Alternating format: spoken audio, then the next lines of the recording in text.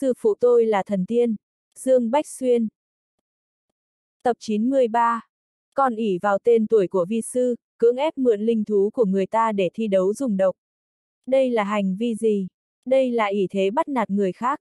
Hôm nay chuyện xảy ra trên phi thuyền của thương hội chúng ta, lại có vi sư tọa chấn.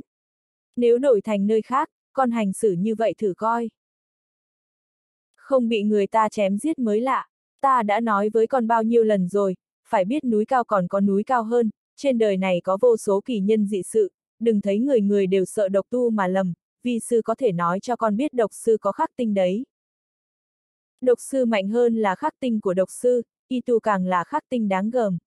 Ngoài ra, một số kỳ nhân dị sĩ đặc biệt cũng là khắc tinh của độc sư. Không nói đâu xa, vị tiểu đạo hữu này chính là một kỳ nhân mà con không thể độc chết được. Nói đến cuối câu, Nguyên Tiên Sư quay đầu mỉm cười nhìn Dương Bách Xuyên. Đệ tử, biết lỗi rồi, xin sư phụ xử phạt. Lúc này Khúc Minh Nguyệt đã bình tĩnh lại. Sau khi nghe sư phụ giảng giải, nàng ta nghĩ kỹ thì thấy đúng là như vậy, quả thật hôm nay nàng ta hành động là ỷ vào danh tiếng của sư phụ. Hôm nay nếu sư phụ không xuất hiện thì nàng ta đã trở thành vong hồn dưới kiếm của Dương Bách Xuyên rồi. Nhưng dù sao Khúc Minh Nguyệt cũng bị Dương Bách Xuyên chặt đứt một tay, trong lòng vẫn hận hắn thấu xương. Lúc này Dương Bách Xuyên đối mặt với Nguyên Tiên Sư trong trạng thái mở mịt. Hắn không hiểu rốt cuộc Nguyên Tiên Sư có ý gì, nghe có vẻ như đối phương toàn nói giúp mình.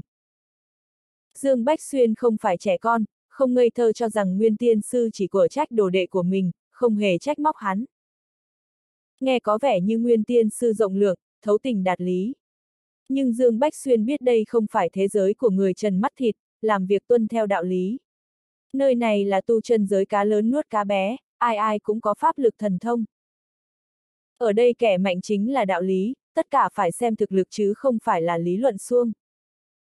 Cho dù Nguyên Tiên Sư coi trọng danh tiếng của bản thân cũng không đến mức độ này.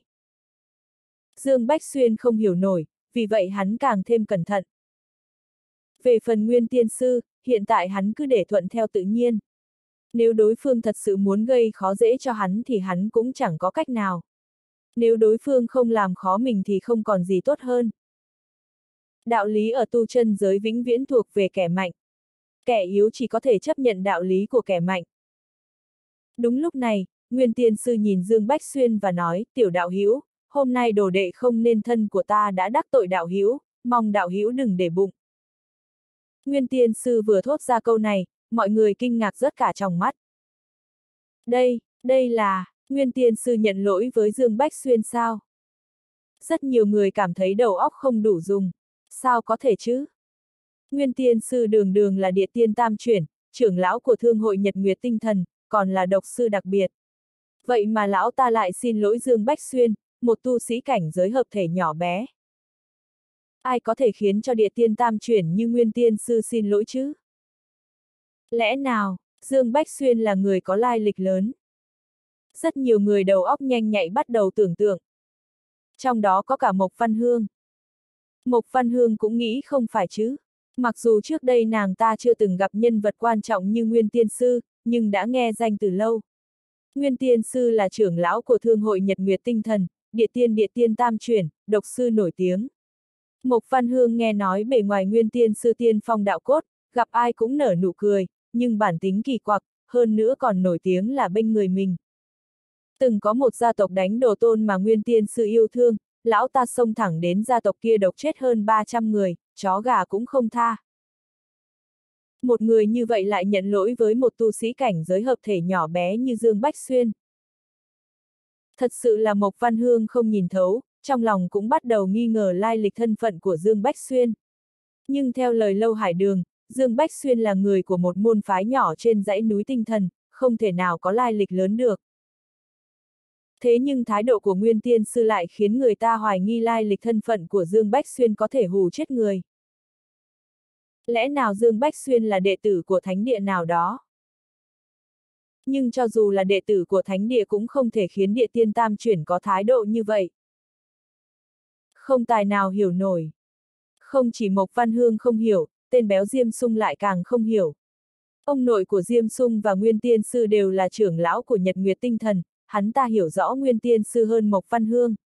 Hắn ta biết Nguyên Tiên Sư là một kẻ không bao giờ chịu thiệt, Dương Bách Xuyên chặt đứt một tay của Khúc Minh Nguyệt, còn muốn giết Khúc Minh Nguyệt, chẳng khác nào tát thẳng vào mặt Nguyên Tiên Sư. Nhưng Nguyên Tiên Sư xuất hiện cũng chỉ cứu đổ đệ Khúc Minh Nguyệt từ trong tay Dương Bách Xuyên, đánh rất kiếm trong tay hắn chứ không giết hắn, bây giờ lại còn nhận lỗi với hắn.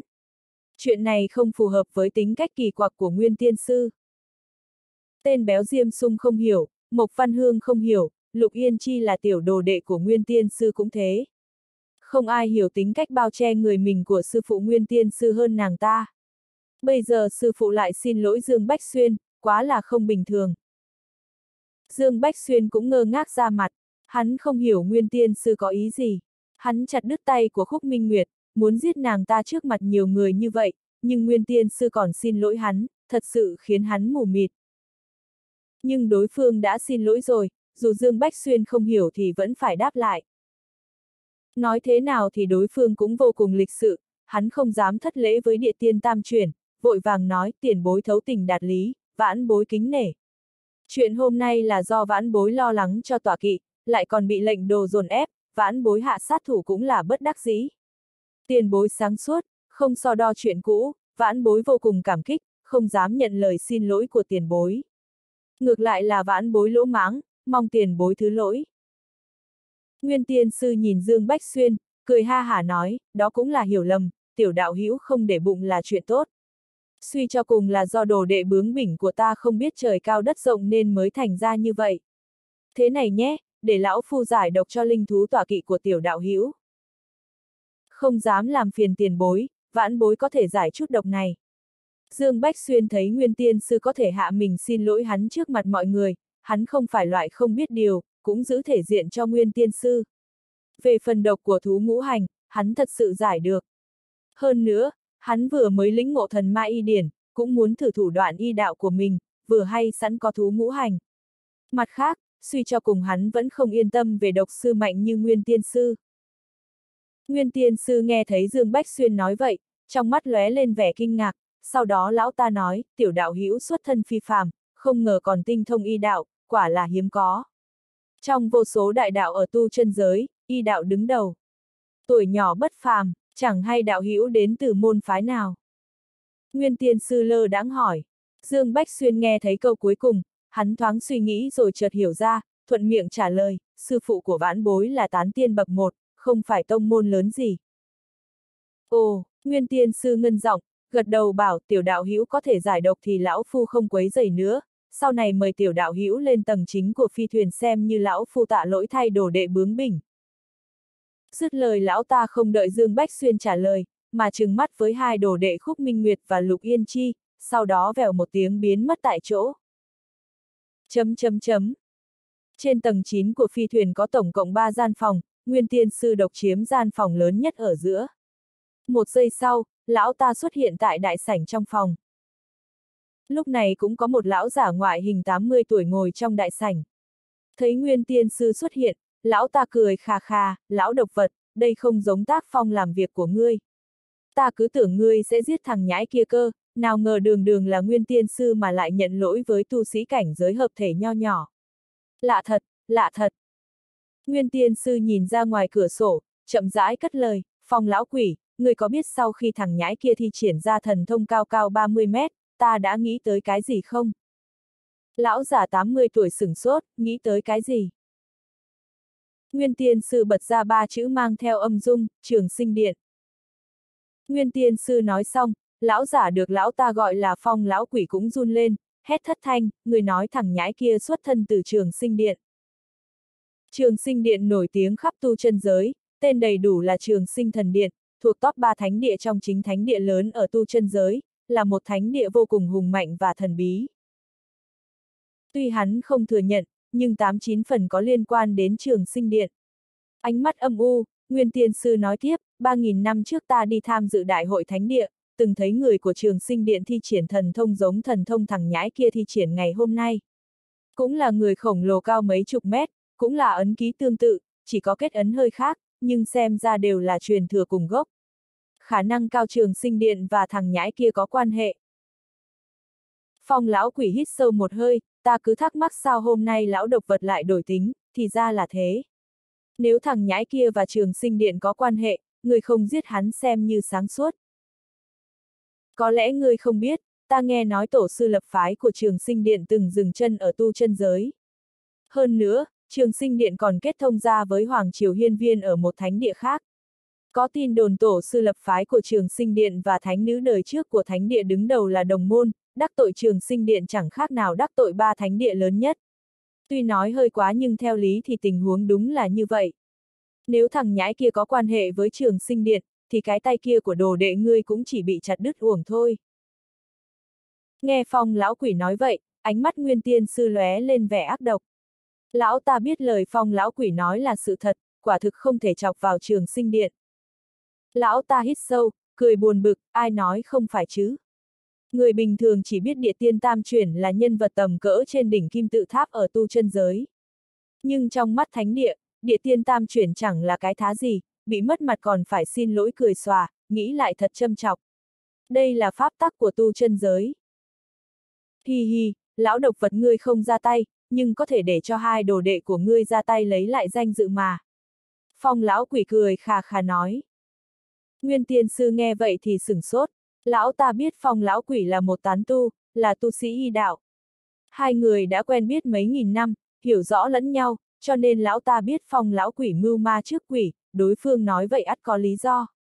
Mà quả thật trong lòng nguyên tiên sư cũng rất khó chịu. Đồ đệ bị người ta chém nứt một tay trước đám đông, người làm sư phụ chẳng những không thể đòi lại công bằng mà còn phải mắng đồ đệ của mình, sau đó còn phải cười làm lành xin lỗi người ta. Thật sự là khó mà nuốt trôi cơn tức này, nhưng có thể làm gì được chứ? Đối phương có quan hệ với thánh địa lớn của tu chân giới là trường sinh điện, có cho nguyên tiên sư thêm một lá gan thì lão ta cũng không dám mạo hiểm giết Dương Bách Xuyên, bởi vì trường sinh điện là nhân vật lớn chính hiệu. Có điều quen biết phong lão quỷ thời gian dài như vậy, nguyên tiên sư hiểu rõ ông bạn xuất quỷ nhập thần này. Hai người quen biết nhau mấy nghìn năm, đều hiểu rõ nhau. Lão ta biết phong lão quỷ lắm mưu nhiều kế, phong lão quỷ biết lão ta ưa sĩ diện. Phong lão quỷ đã nói vậy thì nhất định có cách qua mắt trường sinh điện. Tuy hôm nay ở trên phi thuyền, Nguyên Tiên Sư tỏ ra rộng lượng, lấy đức thu phục người, nhận lỗi với Dương Bách Xuyên. Nhưng đó là bởi vì lão ta e ngại trường sinh điện. Thần thông người khổng lồ mà Dương Bách Xuyên thi triển ra quá giống trường sinh điện, lão ta không dám mạo hiểm. Nhưng có thể dự đoán được sau ngày hôm nay, chuyện lão ta bị một tiểu bối làm mất hết thể diện trên phi thuyền của thương hội nhà mình sẽ lan truyền ra ngoài. Nguyên tiên sư nén giận, nếu có thể giết Dương Bách Xuyên xả giận mà không làm kinh động đến trường sinh điện thì đúng là chuyện tốt. Nguyên tiên sư nhìn phong lão quỷ, híp mắt hỏi, người nói vậy là sao? Hi hi, lão độc vật ngươi trong nhà chưa tỏ, ngoài ngõ đã tường. Ta hỏi ngươi nhé, lần này phi thuyền chở người của thương hội Nhật Nguyệt tinh thần đi đâu làm gì? Đích đến của phi thuyền là nơi nào? Phong lão quỷ nhìn Nguyên tiên sư và hỏi. Hai mắt Nguyên tiên sư sáng ngời, ngươi nói tới. Thái Hoang Tinh Hải. Không thì ngươi nghĩ sao? Đừng quên tính chất đặc biệt của Thái Hoang Tinh Hải và giao ước giữa chín thánh địa lớn. Trong Thái Hoang Tinh Hải, dù ngươi giết thánh tử thánh nữ của thánh địa cũng không bị truy cứu trách nhiệm, chỉ cần ngươi có bản lĩnh kia.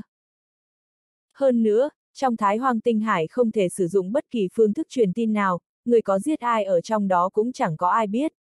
Cho nên phải xả giận chứ, đơn giản mà. Phong lão quỷ cười khà khà nói. Nguyên tiên sư nghe xong, trên mặt cũng nở nụ cười, ta quên mất tiêu. Lần này vốn là cho Minh Nguyệt và Yên Chi đi Thái Hoang rèn luyện, bây giờ xem ra đó là một ý hay.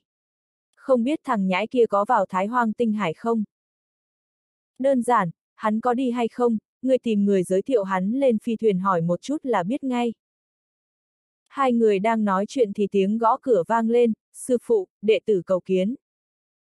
Vào đi, Nguyên Tiên Sư trầm ngâm nói. Sau đó, Khúc Minh Nguyệt và Lục Yên Chi, phía sau còn có Mộc Văn Hương đi vào.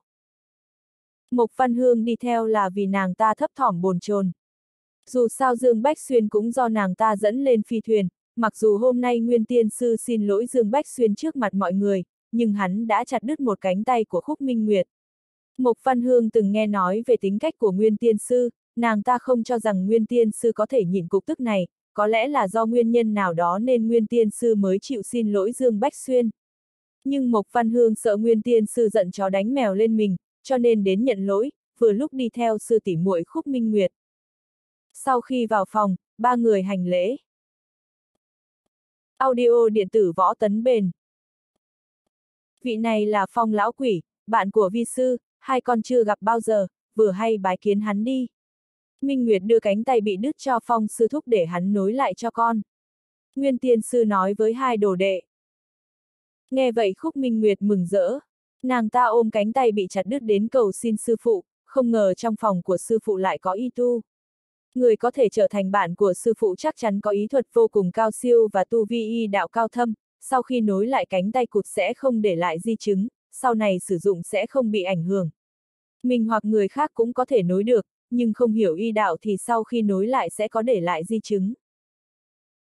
Khúc Minh Nguyệt vội vàng tiến lên bái kiến. Minh Nguyệt, yên chi bái kiến phong sư thúc. Kha kha, hai chất nữ xinh đẹp như hoa. Người một nhà cả, đứng lên đi. Phong lão quỷ cười ha hả, mắt dán chặt vào bộ ngực cao ngất của khúc Minh Nguyệt, không thèm nhìn tới Lục Yên Chi tuổi còn nhỏ. Lão ta vẫy tay một cái, hai người cảm nhận được nguyên khí mênh mông xuất hiện, không vái lại được nữa. Khúc Minh Nguyệt không chú ý tới ánh mắt tham lam của phong lão quỷ dán chặt vào ngực mình.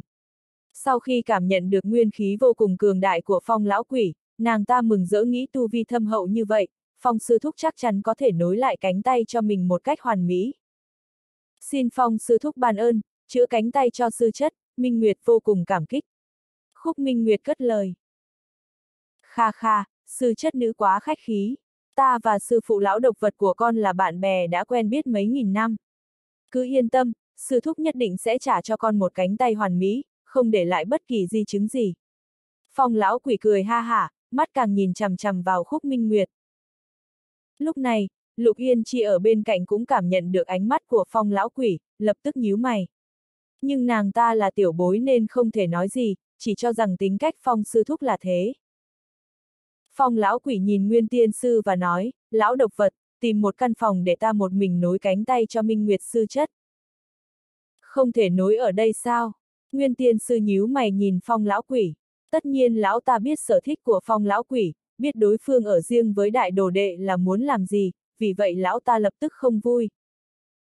Hi hi, lão độc vật à, muốn nối cánh tay cho sư chất nữ được hoàn mỹ thì cần phải trả giá, lão phủ phải hy sinh rất lớn đấy bắt buộc phải ở riêng chữa trị, không cho bất kỳ kẻ nào quấy dày. Kha kha, lời nói của phong lão quỷ rất kỳ dị. Nhưng chỉ có nguyên tiên sư hiểu phong lão quỷ đang ám chỉ với mình, hay nói chính xác hơn là cảnh cáo nhắc nhở, lời nói bí hiểm. Nguyên tiên sư biết rõ đại đồ đệ khúc minh nguyệt ở riêng với phong lão quỷ sẽ có hậu quả gì, nhưng nghĩ đến giao dịch giữa mình và phong lão quỷ, nguyên tiên sư thầm thở dài trong lòng, đành vậy. Vậy thì, đi đi. Minh Nguyệt ngoan ngoãn phối hợp với Phong Sư Thúc nhé, để cho. Để cho Phong Sư Thúc nối lại cánh tay cho con, tránh để lại di chứng.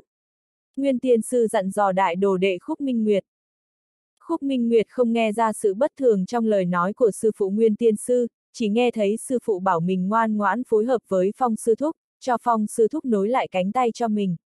Tu sĩ y đạo bậc thầy nối cánh tay, tương lai sẽ không ảnh hưởng tới tu vi của mình. Khúc Minh Nguyệt rất để ý vấn đề này. Vì thế, nàng ta vui mừng hứa sẽ ngoan ngoãn phối hợp với phong sư thúc chữa trị cánh tay cụt. Song nàng ta không biết rằng lúc này sư phụ Nguyên Tiên Sư đã bán nàng ta.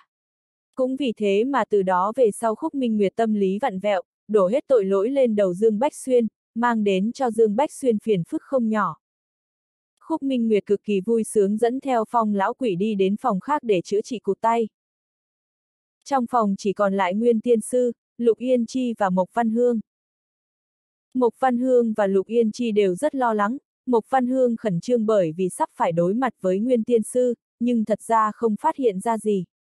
Nhưng Lục Yên Chi lại nhìn ra một chút khác biệt, đã hai lần nàng ta thấy được ánh mắt phong sư thúc nhìn khúc minh nguyệt sư tỷ có chút, dâm đáng, hơn nữa sắc mặt của sư phụ cũng có chút cổ quái, rất muốn hỏi sư phụ nhưng có người ngoài là Mộc Văn Hương ở đây nên nhìn xuống. Lúc này trong lòng nguyên tiên sư vô cùng phức tạp, lão ta biết rõ đồ đệ đi theo phong lão quỷ sẽ gặp phải hậu quả gì, nhưng lại vì ích lợi của bản thân nên lựa chọn cam chịu. Quay đầu nhìn tiểu đồ đệ lục yên chi, ánh sáng chợt lóe lên trong mắt rồi biến mất, trong lòng lại trở nên kiên định, nhìn Mộc Văn Hương nói, ngươi là người của tuần tra đường của thương hội. Mộc Văn Hương nghe vậy vội vàng trả lời, bẩm trưởng lão, thuộc hạ là người phụ trách đội chín tuần tra đường của thương hội, việc hôm nay là do thuộc hạ sơ sẩy, không nên đồng ý lâu hải đường cho Dương Bách Xuyên đi nhờ phi thuyền của thương hội chúng ta, làm Minh Nguyệt cô cô và trưởng lão khó xử, thuộc hạ đến nhận tội. Nói xong Mộc Văn Hương khom người 90 độ.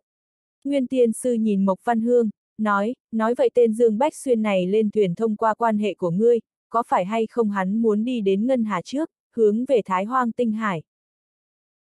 Đúng vậy, Dương Bách Xuyên được lâu chủ tử lầu tinh thần thành tinh thần giới thiệu đến, thật ra thuộc hạ cũng hoàn toàn không quen thuộc, chỉ dựa theo lệ thường thu linh thạch cho hắn đi nhờ đến Ngân Hà trước, xin trưởng lão cho chuộc tội. Mộc Văn Hương sợ Nguyên Tiên sư giận chó đánh mèo nàng ta, cũng chỉ có thể đẩy hết lên đầu Lâu Hải Đường. Lâu Hải Đường, có phải là tên đệ tử của tuyệt tình trưởng lão hay không? Nguyên Tiên sư cũng từng nghe qua tên của Lâu Hải Đường, bởi tuyệt tình sư Thái, trưởng lão nữ tính duy nhất trong chín trưởng lão của Thương hội Nhật Nguyệt Tinh Thần có một đệ tử tên là Lâu Hải Đường, cho nên Nguyên Tiên sư có ấn tượng. Đúng vậy, Mộc Văn Hương trả lời. Được rồi, lão phu đã biết, lần này không trách người, người lùi xuống chú ý tên Dương Bách Xuyên này, không phải hắn đang giải độc cho tòa kỵ của hắn sao? Đi xem xem hắn sử dụng thủ đoạn gì, ghi lại thành hình ảnh đem về cho ta. Nguyên tiên sư dặn dò Mộc Văn Hương. Đối với Nguyên tiên sư, hiện tại Dương Bách Xuyên lên thuyền như thế nào đã không quan trọng, quan trọng là ông ta chỉ cần biết rằng Dương Bách Xuyên sẽ đến Thái Hoang Tinh Hải là được. Ông ta yêu cầu thở ra một hơi, lấy lại mặt mũi, đường đường là tam chuyển, ông ta chưa từng nghẹn khuất như lần này. Nhưng ở chỗ này, đặc biệt đang ở trên phi thuyền của thương hội nhà mình, ông ta thật sự không dám làm gì Dương Bách Xuyên. Không những ở trên phi thuyền, dù là ở bất cứ nơi nào của tu chân giới ông ta cũng không dám, bởi vì Nguyên Tiên Sư biết sự khủng bố của trường sinh điện. Nếu Dương Bách Xuyên là đệ tử của trường sinh điện, ông ta giết chết Dương Bách Xuyên, cho dù không nhìn thấy ông ta giết Dương Bách Xuyên, dựa vào thủ đoạn của trường sinh điện cũng có thể tra được dễ như trở bàn tay, cho nên Nguyên Tiên Sư không dám mạo hiểm. Bây giờ đã biết mục đích của Dương Bách Xuyên là Thái Hoang Tinh Hải thì dễ làm hơn nhiều, giết Dương Bách Xuyên ở đó, trường sinh điện cũng đừng mơ trả được. Mộc Văn Hương nghe thấy Nguyên Tiên Sư nói vậy thở ra một hơi, may mắn không truy cứu trách nhiệm của nàng ta, vội vàng nhận lệnh đi, ghi lại quá trình Dương Bách Xuyên giải độc cho linh thú, nàng ta cũng có hứng thú quan sát. Chờ Mộc Văn Hương rời đi, Lục Yên Chi không nhìn được hỏi ra vấn đề trong lòng, sư phụ tại sao con thấy ánh mắt phong sư bác nhìn sư tỷ rất, rất không tốt, liệu có xảy ra chuyện gì hay không? Lục Yên chỉ định nói ánh mắt phong lão quỷ nhìn sư tỷ rất dâm đáng, nhưng dù sao cũng là nữ hài tử, không tiện nói thẳng. Nguyên tiên sư nghe tiểu đồ đệ nói vậy, sự xấu hổ trong mắt hiện lên rồi biến mất, lão ta biết tiểu đồ đệ này của mình rất thông minh lanh lợi, sợ hãi nàng ta quan sát được nói ra, nhưng cuối cùng vẫn bị tiểu đồ đệ quan sát được. Ho khan một tiếng che giấu sự xấu hổ, cố ý banh mặt trầm giọng quát lớn, vớ vẩn, ta và phong lão quỷ là bạn tốt, tính cách hắn hơi cổ quái, các mặt còn lại cũng không có gì không tốt, hơn nữa người ta đi chữa trị cụt tay cho sư tỷ ngươi, làm tiểu bối sao lại có thể vô lễ như vậy. Lần này nếu không phải ngươi và Minh Nguyệt làm bậy, nàng có thể bị Dương Bách Xuyên chém đứt một tay. Sau này không thể suy đoán lung tung, biết chưa? Lục Yên Chi không nhịn được phản bác, sư phụ, lần nào cũng là sư tỷ kéo con lên tỉ thí dùng độc, con không làm bậy, hơn nữa, con thấy phong. Câm mồm, còn nói.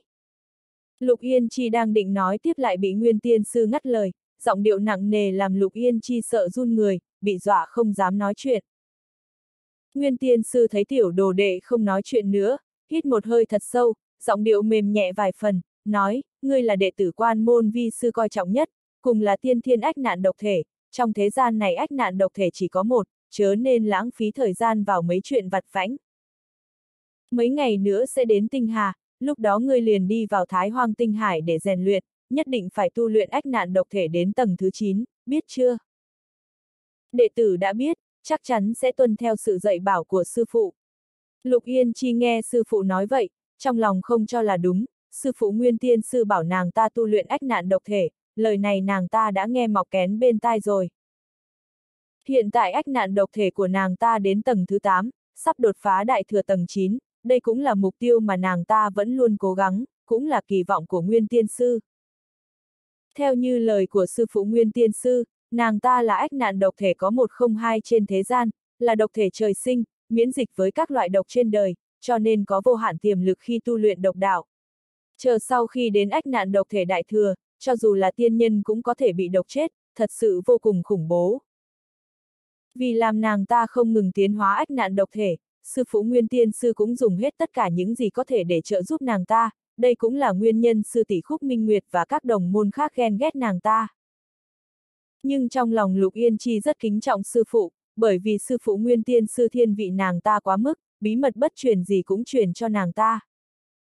Được rồi, đi xuống tu luyện đi, không cần để ý mấy chuyện vặt vãnh khác, đến Ngân Hà Vi sự sẽ tự sắp xếp, mấy ngày nay bế quan trong phòng, không cần ra cửa. Nguyên tiên sư làm Lục Yên Chi đi xuống bế quan. Vâng, đệ tử tuân mệnh. Sau khi nhìn tiểu đồ đệ Lục Yên Chi rời đi, trong mắt Nguyên tiên sư lóe lên tia sáng, mang theo ngọn lửa, lẩm bẩm, nhanh, nhanh, chờ ách nạn độc thể của ngươi đến đại thừa chính là lúc phi sư độ tán tiên kiếp lần thứ tư, dốc hết tâm sức bồi dưỡng ngươi 500 năm, cuối cùng cũng thấy được hy vọng, tán tiên uy vọng, nhưng ai có thể biết tán tiên kiếp ngàn năm một lần đều là cửa địa ngục.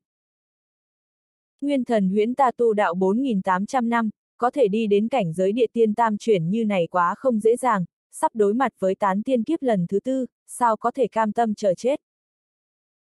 Yên chi a à yên chi, khó khăn lắm vi sư mới tìm được ngươi trong biển người, tiên thiên ách nạn độc thể sẽ là hy vọng độ kiếp của vi sư, muốn trách thì trách vận mệnh của ngươi đi, ai làm ngươi là ách nạn độc thể chứ? Nguyên tiên sư lẩm bẩm một lúc, âm thanh càng ngày càng nhỏ. Nhưng trong lúc Nguyên tiên sư đang tự độc thoại, trên bong tàu của phi thuyền, đột nhiên Dương Bách Xuyên mở to hai mắt, lúc này trong lòng hắn vô cùng khinh bỉ Nguyên tiên sư, bởi vì hắn nghe được lời nói tự độc thoại của Nguyên tiên sư. Vốn dĩ hắn đang nghĩ cách giải độc cho thú ngũ hành, bởi vì sau khi bị khúc minh nguyệt hạ độc, Dương Bách Xuyên đã kiểm tra độc tố có trong yêu hồn của thú ngũ hành, cuối cùng chỉ nghĩ ra được cách mượn dùng nguyên thần của chính mình để giải độc cho thú ngũ hành. Còn chuyện nghe được lời nói của Nguyên Tiên Sư, chuyện này hoàn toàn là trùng hợp, Dương Bách Xuyên nghĩ đến không gian hắc liên có tác dụng nhiếp hồn, thời gian bên trong không gian hắc liên gấp một ngàn lần bên ngoài nên muốn đem yêu hồn của thú ngũ hành vào trong không gian hắc liên để chữa trị. Chẳng qua trong lúc vô ý Dương Bách Xuyên thả ra linh thức, vô tình phát hiện một bí mật to lớn. Hắn nghĩ dù sao cũng ở trên bong tàu của phi thuyền, trước công chúng đi vào không gian hắc liên có chút nguy hiểm, mặc dù tên Diêm hướng mập mạp từng nói sẽ hộ pháp cho hắn nhưng hắn vẫn không tên tâm cho nên khi đứng trong không gian hắc liên, Dương Bách Xuyên suy nghĩ có thể phân một dùng hai hay không. Kết quả nghe được âm thanh không tưởng. Vừa giải độc cho yêu hồn của thú ngũ hành, vừa thả ra linh thức để quan sát bên ngoài, không ngờ sau khi buông ra linh thức ở trong không gian hắc liên, không ngờ thử một lần đã thành công. Hơn nữa hắn phát hiện sau khi sử dụng linh thức ở trong không gian hắc liên, người bên ngoài không ai có thể cảm nhận được linh thức của hắn. Có lẽ là do tính chất độc đáo của không gian hắc liên đã thay đổi linh thức, cho nên lá gan của Dương Bách Xuyên phồng to, chậm rãi kéo linh thức ra ngoài, vô thức kéo dài linh thức lên đến tầng 9, vừa vặn nhìn thấy Lục Yên Chi đi ra khỏi phòng, thấy được Nguyên Tiên Sư ở trong phòng. Sau đó Dương Bách Xuyên đánh bạo muốn thử xem chính mình sử dụng linh thức trong không gian hắc liên liệu có bị cao thủ như Nguyên Tiên Sư phát hiện hay không. Kết quả sau khi linh thức đi vào trong phòng Nguyên Tiên Sư liền nghe được âm thanh lẩm bẩm của Nguyên Tiên Sư, không ngờ lão già nhìn tiên phong đạo cốt như vậy lại tính kế đồ đệ của chính mình, nghe qua có vẻ muốn để tiểu đồ đệ Lục Yên Chi làm vật hy sinh cho lần tán tiên kiếp thứ tư. Dương Bách Xuyên cũng coi như đã biết được bộ mặt thật của Nguyên Thần Huyễn, nhìn tiên phong đạo cốt chưa chắc là người lương thiện, đầy mặt dữ tợn cũng chưa chắc là kẻ ác. Có một chuyện Dương Bách Xuyên vẫn chưa hiểu, trước mặt mọi người nguyên tiên sư thay mặt đồ đệ khúc minh nguyệt xin lỗi hắn, ngay từ đầu Dương Bách Xuyên cảm giác chính mình gặp được người tốt nói đạo lý, nhưng trong lòng vẫn có chút khó hiểu. Nhưng sau khoảnh khắc này, Dương Bách Xuyên mở rộng sự nghi hoặc trong lòng ra gấp 10 lần, bởi vì một người có thể đem đồ đệ trở thành vật hy sinh để độ kiếp như nguyên tiên sư, tại sao sẽ có được tính tính cao thượng. Cho nên Dương Bách Xuyên chuẩn bị sau khi giải trừ được độc của thú ngũ hành lại đi tra xét một chút xem có âm mưu gì nhằm vào mình hay không.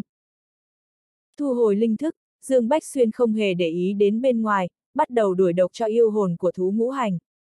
Dương Bách Xuyên không thể không thừa nhân nữ nhân tên Khúc Minh Nguyệt cũng có chút thủ đoạn, nếu không phải thú ngũ hành có thiên phú dị bẩm, có được thần hồn ngũ hành đã sớm bị nữ nhân kia độc chết, trong yêu hồn có không dưới 30 loại độc. Nếu là người bình thường có lẽ bó tay không có biện pháp, cũng may Dương Bách Xuyên tiêu phí vài thập niên học tập thần ma y điển, lúc này cũng coi như có cơ hội phát huy thủ đoạn y thuật. Ở trong không gian hắc liên hắn có bó lớn thời gian để nghiên cứu đuổi độc, không cần mượn dùng linh dược, chỉ cần dựa vào thủ đoạn thần ma y điển, hắn có thể loại bỏ được độc trong yêu hồn thú ngũ hành. Ngây người 10 ngày trong không gian hắc liên, Dương Bách Xuyên đã hoàn toàn loại bỏ được độc trong yêu hồn thú ngũ hành, sau đó thu hồi ý thức. Mà bên ngoài cũng chỉ trôi qua một canh giờ, tiếp theo chính là độc trên người thú ngũ hành, so với độc yêu hồn, đối với Dương Bách Xuyên độc trên thân thể đơn giản hơn rất nhiều. Dựa theo thủ đoạn y thuật học được trong thần ma y điển, Dương Bách Xuyên từng bước triển khai chữa trị. Lúc này Mộc Văn Hương phụng mệnh đến ghi chép lại quá trình Dương Bách Xuyên giải độc cho thú ngũ hành.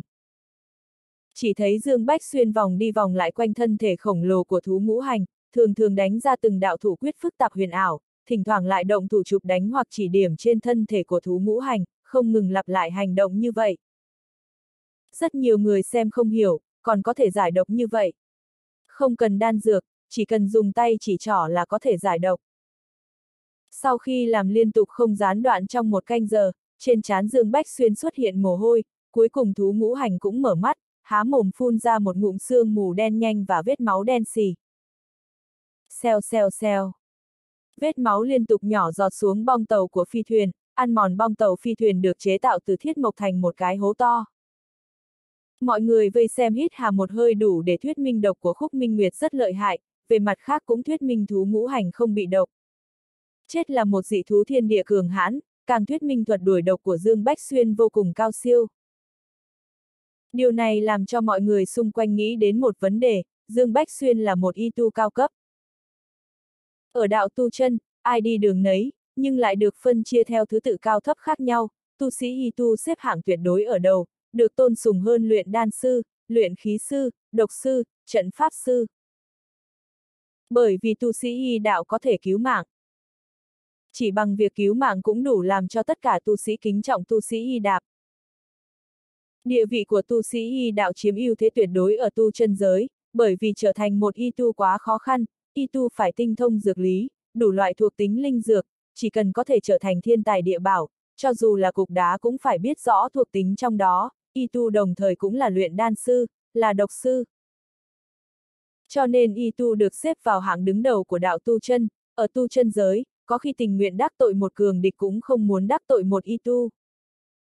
Tu hành y đạo quá khó khăn, cần phải hiểu biết rất nhiều, kiến thức cần học bao hàm toàn diện, không giống như luyện đan sư, luyện khí sư khác, chỉ cần chuyên tâm học một đạo là được, nhưng y đạo lại không được. Cũng bởi vậy ở tu chân giới, tu sĩ y đạo cực ít cực ít, mỗi khi có một y tu xuất hiện, thế lực ở khắp nơi sẽ mượn sức mời chào, đặc biệt là y tu cao cấp, đi đến đâu cũng được chào đón.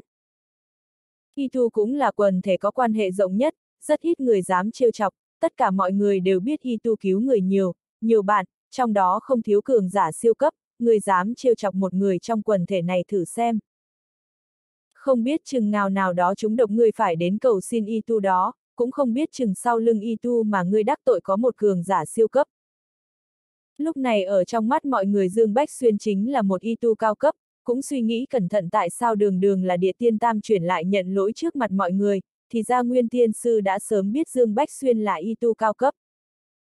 Tất cả đều cho rằng nguyên tiên sư đã sớm biết Dương Bách Xuyên là một y tu cho nên không muốn đắc tội mới xin lỗi thay đồ đệ trước mặt mọi người, không ngờ nguyên tiên sư đã nhìn ra thần thông mà Dương Bách Xuyên thi triển, cho rằng Dương Bách Xuyên có quan hệ với trường sinh thần điện nên không dám đắc tội. Mộc Văn Hương cũng cho rằng như vậy. Diêm hướng mập mạp nhìn chằm chằm vào Dương Bách Xuyên, hai mắt sáng rực, hắn ta biết chỗ tốt khi kết giao với một y tu, đừng nhìn Dương Bách Xuyên tu vi thấp, nhưng chỉ bằng việc hắn không dùng bất cứ linh dược nào đã có thể giải được độc cho thú ngũ hành, trong mắt mập mạp, Dương Bách Xuyên tuyệt đối là một y tu ghê gớm. Trong lòng thầm hạ quyết tâm phải kết giao được với Dương Bách Xuyên, hiện tại hắn ta cảm thấy rất may mắn khi va chạm với Dương Bách Xuyên, làm cho hắn ta có được cơ hội kết giao với Dương Bách Xuyên. Giữa sân Dương Bách Xuyên không hề biết suy nghĩ của mọi người, nhìn thấy thú ngũ hành phun ra một ngụm máu đen, hắn thở ra một hơi nhẹ nhõm, sắc mặt mang theo mệt mỏi, mỉm cười nói tiểu ngũ, cảm thấy sao rồi? Cảm ơn chủ nhân, ta cảm thấy ổn rồi. Mặc dù nói vậy nhưng thú ngũ hành vẫn có chút huệ hoài. Dương Bách Xuyên biết điểm này, xem như trạng thái mới khỏi bệnh, tu dưỡng mấy ngày là ổn. Lúc này trong lòng hắn bị niềm vui sướng lấp đầy, mà sư phụ truyền lại không hổ danh thần ma, hắn chỉ ôm suy nghĩ muốn giải độc cho thú ngũ hành nên mới thử, không ngờ dễ như trở bàn tay, không cần sử dụng linh dược cũng có thể hoàn toàn chữa khỏi độc trong cơ thể thú ngũ hành, đủ để chứng minh là bí điển y thuật cao cấp nhất thế gian. Tất nhiên cũng có thể dùng phương pháp sử dụng linh dược luyện đan giải độc, nhưng thời gian không kịp, Dương Bách Xuyên dùng luôn phương pháp kết ấn đuổi độc trong, không ngờ hiệu quả rất tốt, nếu kết hợp hai phương pháp lại, lập tức có thể làm thú ngũ hành tung tăng nhảy nhót.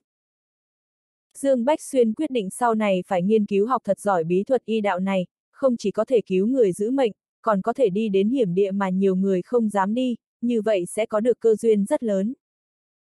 Đi thôi, đi tu dưỡng trước, ta cũng quá mệt mỏi, chờ khôi phục lại sức, ta sẽ luyện chế đan dược bổ sung căn nguyên bị thương cho ngươi. Dương Bách Xuyên nói với thú ngũ hành.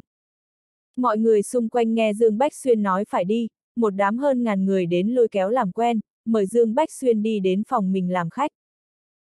Ngay cả Mộc Văn Hương và Diêm Hướng mập mạp cũng đi lên làm Dương Bách Xuyên đi đến gian của bọn họ, tất nhiên ý của Mộc Văn Hương là Dương Bách Xuyên tiếp tục ở trong phòng của nàng ta. Dương Bách Xuyên cảm giác được rất rõ mọi người trở lên nhiệt tình hơn với hắn, nhưng cũng có chút nghi hoặc, lúc này hắn còn không biết địa vị của một y tu ở tu chân giới, chỉ mỉm cười dịu dàng từ chối ý tốt của mọi người, lý do là phải luyện chế đan dược cho thú ngũ hành.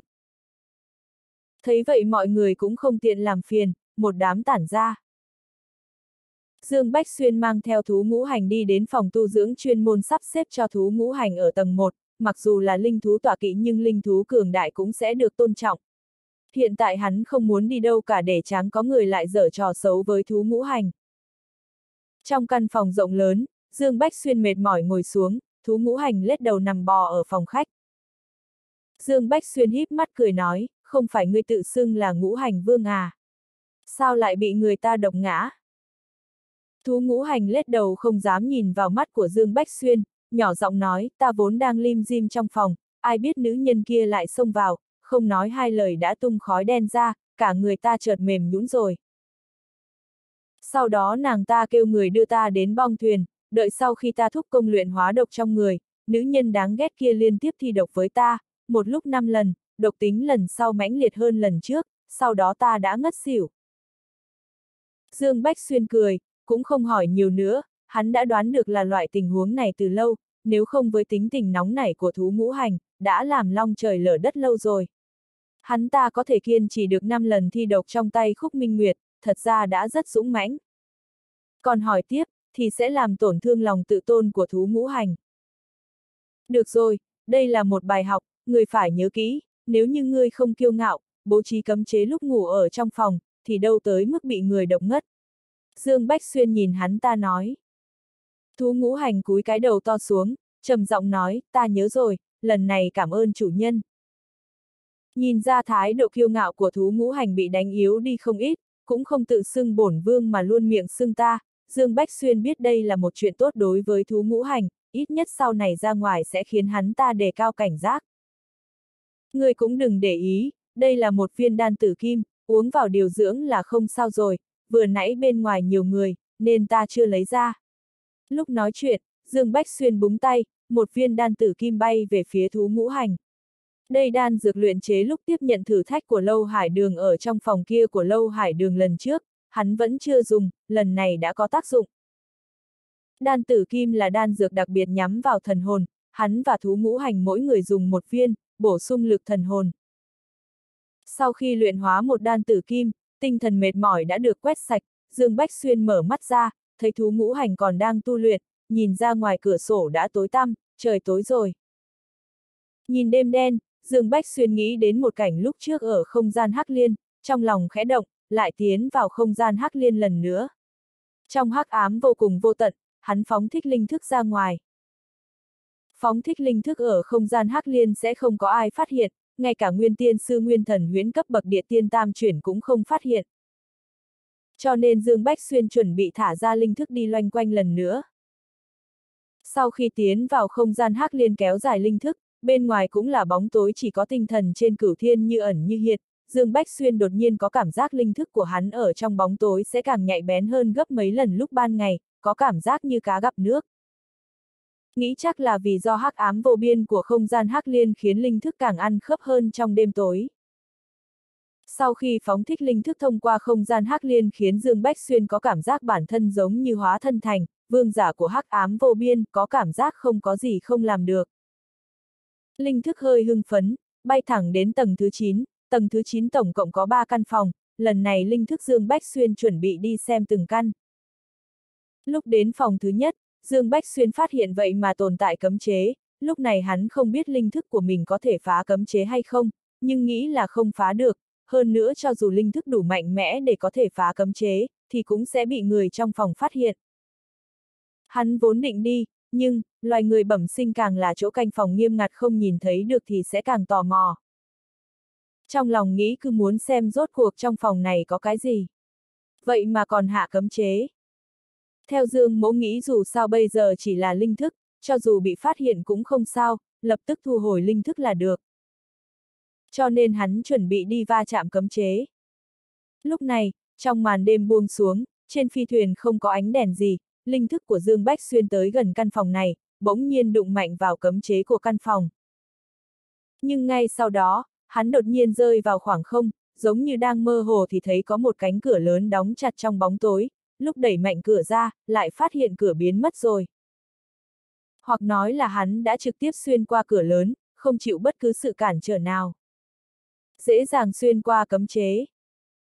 Hơn nữa không hề chạm đến cấm chế, giống như linh thức của hắn và cấm chế hoàn toàn là hai vật dẫn khác nhau, cấm chế hoàn toàn không hề có tác dụng với linh thức của hắn, như không tồn tại. Điều này khiến Dương Bách Xuyên mờ mịt một lúc, nhưng sau khi hoàn hồn trong lòng lại vui mừng, quy tình huống dị biến của linh thức là cho không gian hắc liên. Ngẫm lại cũng chỉ có thể là tác dụng của không gian hắc liên, bởi vì hắn biết linh thức bình thường chạm vào cấm chế chắc chắn sẽ bị bắn ngược lại. Bây giờ kiến thức đối với không gian hắc liên lại tăng thêm một bậc, ngày càng cảm thấy hắc liên thần bí, nghĩ để sau có thời gian tìm hắc liên chi linh nghiên cứu thật tốt, rốt cuộc hóa thân đệ nhất hắc liên của hồng hoang như nàng là tồn tại gì, còn có thần thông gì hắn có thể sử dụng và chưa biết. Bây giờ Dương Bách Xuyên cũng cảm thấy rất kỳ lạ đối với việc có được liên tử của hắc liên. Năm đó ở bí địa trường Bạch, người bảo vệ liên tử hắc liên ở động hắc liên là phong vân thần khuyển phong vân dạ lang. Phong vân thần khuyển là bị chủ nhân của kiếm đồ long bạch trường mi chấn áp ở động hắc liên, hơn nữa một lần chấn áp chính là 3.000 năm, năm đó phong vân thần khuyển sắp bị chấn áp tới phát điên rồi. Năm đó gặp phong vân thần khuyển còn có câu chuyện nhỏ là phong vân thần khuyển muốn ăn nhất dạng, lúc trở tay đã đè nhất dạng dưới móng vuốt yao chi yang, phen sâu chư chiên chi ang y yang ya dai le Chao di siêu kết quả lão đầu nổi trận lôi đình, trực tiếp mượn cơ thể của hắn dùng thần hồn mạnh mẽ hù dọa phong vân thần khuyển, đương nhiên lợi hại nhất là lão đầu đã thi triển ra một thủ ấn. Theo cách nói của lão đầu thì là trường sinh ấn, đó là thần thông ông sáng tạo đã truyền thụ cho đại sư huynh của tu chân giới. Đến nay Dương Bách Xuyên còn nhớ rõ ràng, năm đó sau khi lão đầu thi triển ra trường sinh ấn đã xuất hiện một phù văn, lập tức dọa phong vân thần khuyển sợ hãi, nó kinh ngạc nói ra cái tên trường sinh ấn và trường sinh thần điện, sau đó trực tiếp hèn nhát. Về sau Dương Bách Xuyên hỏi lão đầu mới biết, trường sinh ấn là thần thông truyền thụ cho đại sư huynh, còn trường sinh thần điện là thế lực đại sư huynh xây dựng. Sau đó nữa, hắn đã mở xích chói yêu trên người phong vân thần khuyển ra, khi đó sư phụ còn giúp hắn luyện hóa xích chó yêu, nói là một tiên khí, cũng là đồ của Bạch Trường Mi, về sau Dương Bách Xuyên đã đưa xích chó yêu cho đại tức phụ Triệu Nam. Hắn nhớ phong vân thần khuyển từng nói, liên tử hắc liên là để cho người có duyên, Dương Bách Xuyên không biết hắn có tính là người có duyên không, tóm lại liên tử hắc liên chính là có được vào lúc đó. Bây giờ đã hoàn toàn biến thành hắc liên trong thức hải của hắn. Giờ nghĩ lại Dương Bách Xuyên đều hơi thở dài, năm đó phong vân thần khuyển còn nói ra bí mật liên quan tới thần mộ viên, nói Bạch Trường Mi là thủ hộ giả vân vân của thần mộ viên.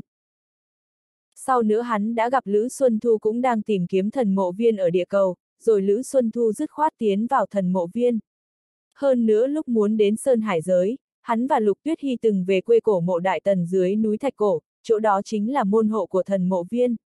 Theo quỷ thu mông nghị gặp được ở cổ mộ Đại Tần nói cho Dương Bách Xuyên biết, Thủy Hoàng đế cũng đã tiến vào trong thần mộ viên.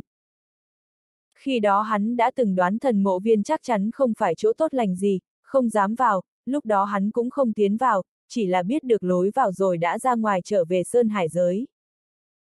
Mà bây giờ nghĩ lại, Hắc Liên có 8-9 phần là Bạch Trường Mi mang ra từ thần mộ viên cũng nên. Tóm lại linh thức trở nên mạnh mẽ, khiến Dương Bách Xuyên càng cảm thấy Hắc Liên rất thần bí. Nháy mắt nghĩ đến những chuyện cụ bí mật này, Dương Bách Xuyên cười khổ, thầm nói, nghĩ nhiều rồi, thần mộ viên chắc chắn không phải chỗ tốt lành, vẫn là xem căn phòng này có cái gì rồi nói sau, trở về nói chuyện với Hắc Liên Chi Linh là được. Đúng lúc Dương Bách Xuyên lấy lại tinh thần thì nghe thấy một, một âm thanh vô cùng quen thuộc vang lên từ phía phòng bên.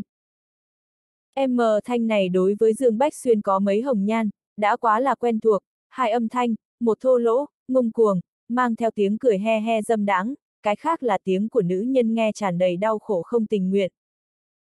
Điều này khiến Dương Bách Xuyên thầm nói xui xẻo, nhưng vẫn quét linh thức qua. Ngay sau đó hắn lại há to miệng.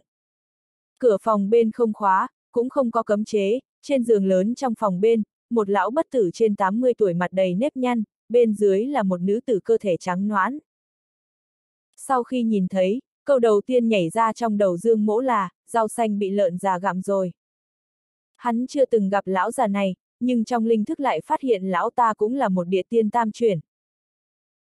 Thế nhưng nữ tử dưới người của lão bất tử lại là người quen, tuyệt đối không ngờ tới lại là Khúc Minh Nguyệt. Đúng là mở mang tầm mắt rồi. Chỉ là ngay sau đó Dương Bách Xuyên lại phát hiện hơi không giống, hắn nhìn thấy hận ý vô tận trong mắt của Khúc Minh Nguyệt, nước mắt nàng ta đảo quanh hốc mắt, mặc cho lão già dày vò. Qua một lát lão bất tử tóc hoa dâm phát ra một tiếng gầm trầm thấp, sau đó nhổm người dậy, nhìn trong mắt khúc minh nguyệt tràn đầy tuyệt vọng và sợ hãi, nói, sư điệt nữ đừng nghĩ không thông, sư thúc ta nối lại cánh tay gãy cho ngươi đã hao tổn lực thần hồn rất lớn, cộng thêm thiên tài địa bảo giá trị xa xỉ, nếu không cánh tay này của ngươi cho dù nối lại cũng sẽ để lại di chứng. Mà bây giờ ngươi cảm thấy có di chứng gì không, hoàn hảo như lúc ban đầu, không hề ảnh hưởng tới lực chiến đấu của ngươi. Hơn nữa sư thúc ta hiểu ngươi muốn tìm tiểu tử tên Dương Bách Xuyên kia trả thù, đưa ra một ý tưởng cho sư phụ ngươi, đến lúc đó chắc chắn Dương Bách Xuyên sẽ phải chết. Ngươi nói xem ngươi còn có gì không vui, he he. Trong tiếng cười dâm đắng, hai tay lão già khẽ lướt qua người khúc minh nguyệt, đắc ý cười to. Dương Bách Xuyên vốn định đi, không muốn thấy cảnh xui xẻo như vậy, nhưng không ngờ lão già lại nhắc đến hắn, hắn lập tức dừng lại chuẩn bị nghe tiếp đối thoại của bọn họ. Chỉ thấy Khúc Minh Nguyệt cúi đầu mặc quần áo, trong bóng tối, Dương Bách Xuyên lại thấy rất rõ ràng, vẻ mặt nàng ta vô cùng méo má, sau đó đứng dậy nhìn lão già, nói, Minh Nguyệt cảm ơn Phong Sư Thúc yêu ái, sao lại trách được, có thể phục vụ Phong Sư Thúc cũng là phúc của Minh Nguyệt. Lúc Khúc Minh Nguyệt nói chuyện, dáng vẻ nũng nịu, trông dáng vẻ như chim nhỏ nép vào người nhưng Dương Bách Xuyên có càn khôn nhãn quan sát linh thức biến dị mạnh mẽ, nàng ta nói chuyện trong lòng lại tràn đầy oán hận. Nhìn đôi mắt ẩn dấu oán hận của Khúc Minh Nguyệt trong bóng tối, sao Dương Bách Xuyên có thể không hiểu, Khúc Minh Nguyệt là bị lão đầu họ phong này cưỡng ép chứ? Chẳng qua một người là tu vi địa tiên tam chuyển, một người là độ kiếp, cánh tay không lay chuyển được bắp đùi, Khúc Minh Nguyệt cũng chỉ có thể cam chịu số phận, còn không dám nói gì. Nghe ý của lão đầu họ phong, lão ta nối cánh tay gãy cho Khúc Minh Nguyệt, sau đó cái giá của Khúc Minh Nguyệt chính là bị lão bất tử này ngủ. Trong đó còn bao gồm lợi ích trả thù hắn, một lần bị ngủ này của nàng ta không tính là thiệt. Dương Bách Xuyên không có thiện cảm, càng không có đồng tình đối với nữ nhân ác độc muốn giết hắn như Khúc Minh Nguyệt, bây giờ nghe người ta nói chuyện, đúng là cấu kết với nhau làm việc xấu.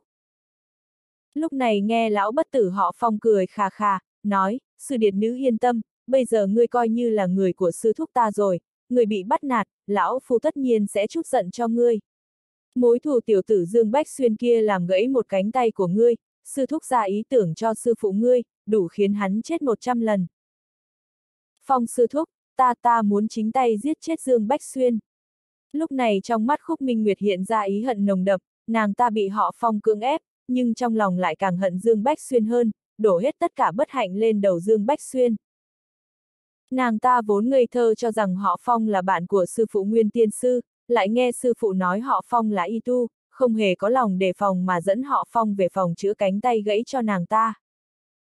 Nhưng Khúc Minh Nguyệt không ngờ sau khi họ Phong điều trị cánh tay gãy cho nàng ta xong, đã đưa ra yêu cầu vô lễ, trần trụi không hề che giấu, nàng ta đã phản kháng, nhưng ở trong tay một địa tiên tam chuyển, sự phản kháng của nàng ta rất yếu ớt. Cuối cùng chỉ có thể coi như bị chó làm, mà nguồn gốc tội lỗi tạo ra tất cả tổn thương này cho nàng ta đều là tiểu tử tên Dương Bách Xuyên kia, tất cả đều tại Dương Bách Xuyên. Nếu không phải hắn, nàng ta cũng sẽ không bị lão bất tử nắp quan tài họ phong. Cho nên người trong lòng khúc minh nguyệt hận nhất là Dương Bách Xuyên, không chính tay băm vụn xác Dương Bách Xuyên, nàng ta khó nguôi nỗi hận trong lòng, nếu không phải Dương Bách Xuyên chặt đứt một cánh tay của nàng ta, sao nàng ta có thể bị con chó già này làm. Người căm hận thứ hai là sư phụ nguyên tiên sư của nàng ta, bây giờ Khúc Minh Nguyệt cho là nguyên tiên sư ngầm đồng ý hành vi của lão bất tử họ Phong. Tim của nàng ta lạnh toát rồi, nàng ta không ngờ sư phụ nguyên tiên sư lại đẩy nàng ta vào hố lửa. Đối với lão cẩu họ Phong, Khúc Minh Nguyệt ngược lại không căm hận bằng hai người trước, hơn nữa hận cũng không có tác dụng, mặc kệ là Phong lão cẩu trước mặt hay là sư phụ nguyên tiên sư, đều không phải người nàng ta dám trêu chọc. Cho nên bây giờ điều có thể làm là dùng cơ thể của bản thân làm cái giá, để khiến lão bất tử giúp nàng ta diệt trừ Dương Bách Xuyên, giải nỗi hận trong lòng. Lão đầu họ Phong nhìn Khúc Minh Nguyệt, như cười như không nói, ban ngày lúc ở trên bong phi thuyền, lão phu và sư phụ ngươi đều nhìn thấy, ngươi không phải đối thủ của Dương Bách Xuyên, ngươi giết hắn thế nào? Khúc Minh Nguyệt cố nhịn ghê tởm trong lòng dán lên người của lão đầu họ Phong, vang lên tiếng nói nũng nịu, cho nên nô gia phải dựa vào sư thúc, chỉ cần sư thúc có thể chút được cục tức này giúp ta, nô gia sau này nhất định tốt với sư phụ, Phong sư thúc. Kha kha kha, lão bất tử họ Phong cười kha kha, im lặng một lát, nói yên tâm, đương nhiên sư thúc sẽ giúp người đạt được mong muốn. Lần này nghe nói tiểu tử Dương Bách Xuyên kia muốn đến Thái Hoang Tinh Hải, đến lúc đó ở Thái Hoang Tinh Hải giết hắn dễ như trở bàn tay, hơn nữa sẽ không có tai họa về sau. Đến lúc đó sư thúc có hai đệ tử không nên thân, tu vi đều là độ kiếp hậu kỳ, sẽ giúp ngươi giết Dương Bách Xuyên chút cục tức này cho ngươi, dễ như chơi. Sư thúc cần gì tốn công như vậy, trực tiếp giết chết hắn trên phi thuyền không phải được rồi à? Chỉ cần sư thúc ra tay chế ngự hắn, thì ta sẽ có thể chính tay băm vụn hắn. Khúc Minh Nguyệt vô cùng độc ác nói. Giọng điệu oán hận của nàng ta khiến Dương Bách xuyên hóa thân linh thức trong bóng tối đều không khỏi cảm thấy ớn lạnh, trong lòng chấn động, lẩm bẩm nói, xem ra nữ nhân này là quyết tâm muốn giết ta cho sảng khoái. Chỉ nghe thấy lão đầu họ phong nghiêm mặt nói, ngươi còn không biết thần thông Dương Bách Xuyên đối phó với thân cao cự nhân kia của ngươi ở trên bong phi thuyền lúc sáng vô cùng giống với trường sinh thần điện top 3 trong danh sách cửu đại thánh địa. Theo cách nói của sư phụ ngươi, nhất mạch lưu truyền, có 89 phần tiểu tử Dương Bách Xuyên kia là người của thánh địa trường sinh thần điện, cho dù không phải chắc chắn cũng có chút quan hệ với điện trường sinh. Cho nên không thể giết ở bên ngoài, bây giờ ngươi vẫn không thể biết sự khủng bố của điện trường sinh, nhưng sư thúc chỉ có thể nói cho ngươi biết, địa tiên tam chuyển như ta và sư phụ nguyên tiên sư của ngươi ở trong mắt những cường giả điện trường sinh, đều là run dế. Giết Dương Bách Xuyên dễ như trở bàn tay, nhưng ai cũng không thể gánh vác được lửa giận của điện trường sinh. Lỡ như Dương Bách Xuyên là môn nhân đệ tử của đại nhân vật nào trong điện trường sinh, giết Dương Bách Xuyên rồi, với thủ đoạn của điện trường sinh, chắc chắn có thể truy xét ra. Đến lúc đó cấp bậc này của ta và sư phụ ngươi chỉ có nước chạy trốn, hơn nữa có thể chạy thoát hay không còn không biết. Cho nên tiểu tử Dương Bách Xuyên này không thể giết ở đây, chỉ có đến Thái Hoang Tinh Hải mới có thể giết hắn, bởi vì phép tắc của Thái Hoang Tinh Hải đặc biệt, không liên quan tới thế giới bên ngoài, giết Dương Bách Xuyên, điện trường sinh cũng không tra được. Giết người ở Thái Hoang Tinh Hải, cho dù giết thánh tử thánh nữ của cửu đại thánh địa cũng có quy định tương tự, không thể truy xét.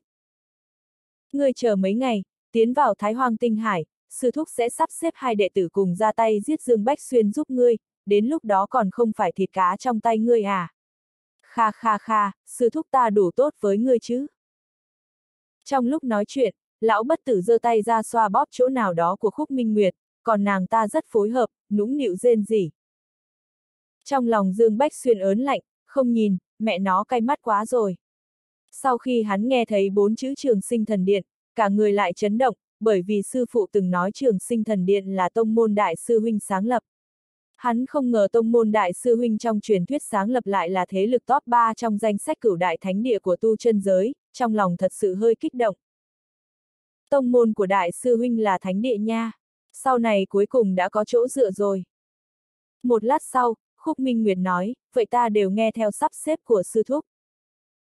Lão bất tử họ phong nhếch miệng cười, dễ nói, có điều sư thúc cần ngươi giúp đỡ, tiểu yêu tinh ngươi gọi lúc nào phải đến lúc đó, he he he.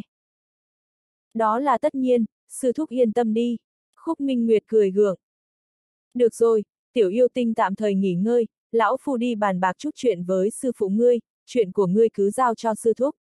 Lão bất tử họ phong đứng dậy nói. Cảm ơn sư thúc, ánh mắt khúc minh nguyệt lóe lên ngọn lửa. Trong bóng tối, Dương Bách Xuyên vốn định rời đi, nhưng nghe thấy họ phong nói là đi tìm nguyên tiên sư, trong lòng chợt động, linh thức im hơi lặng tiếng đi theo sau họ phong. Mấy phút sau họ phong đã đến phòng của nguyên tiên sư. Lúc này, trong tay nguyên tiên sư đang nghịch một viên đá ảnh tượng, thấy họ phong bước vào, nói, phong lão quỷ, lão phu bỏ cả đồ đệ ra rồi, hy vọng ngươi đừng quên chuyện đã đồng ý với ta, nếu không lão phu không xong với ngươi. Kha kha kha, lão độc vật nguyên thần huyễn, ngươi và ta như nhau thôi, yên tâm đi, chỉ cần ách nan chi thể của tiểu đồ đệ kia của ngươi đại thừa, lão phu nhất định sẽ tinh luyện độc căn nguyên tiên thiên trong người nàng ta giúp ngươi. Đến lúc đó lão độc vật ngươi thật sự là độc công đại thành, lo gì không độ qua tán tiên kiếp thứ tư. Lão già họ phong nham hiểm cười nói. Linh thức của Dương Bách Xuyên núp ở góc phòng nghe hai người kia nói chuyện, hắn thầm mắng đúng là không biết xấu hổ.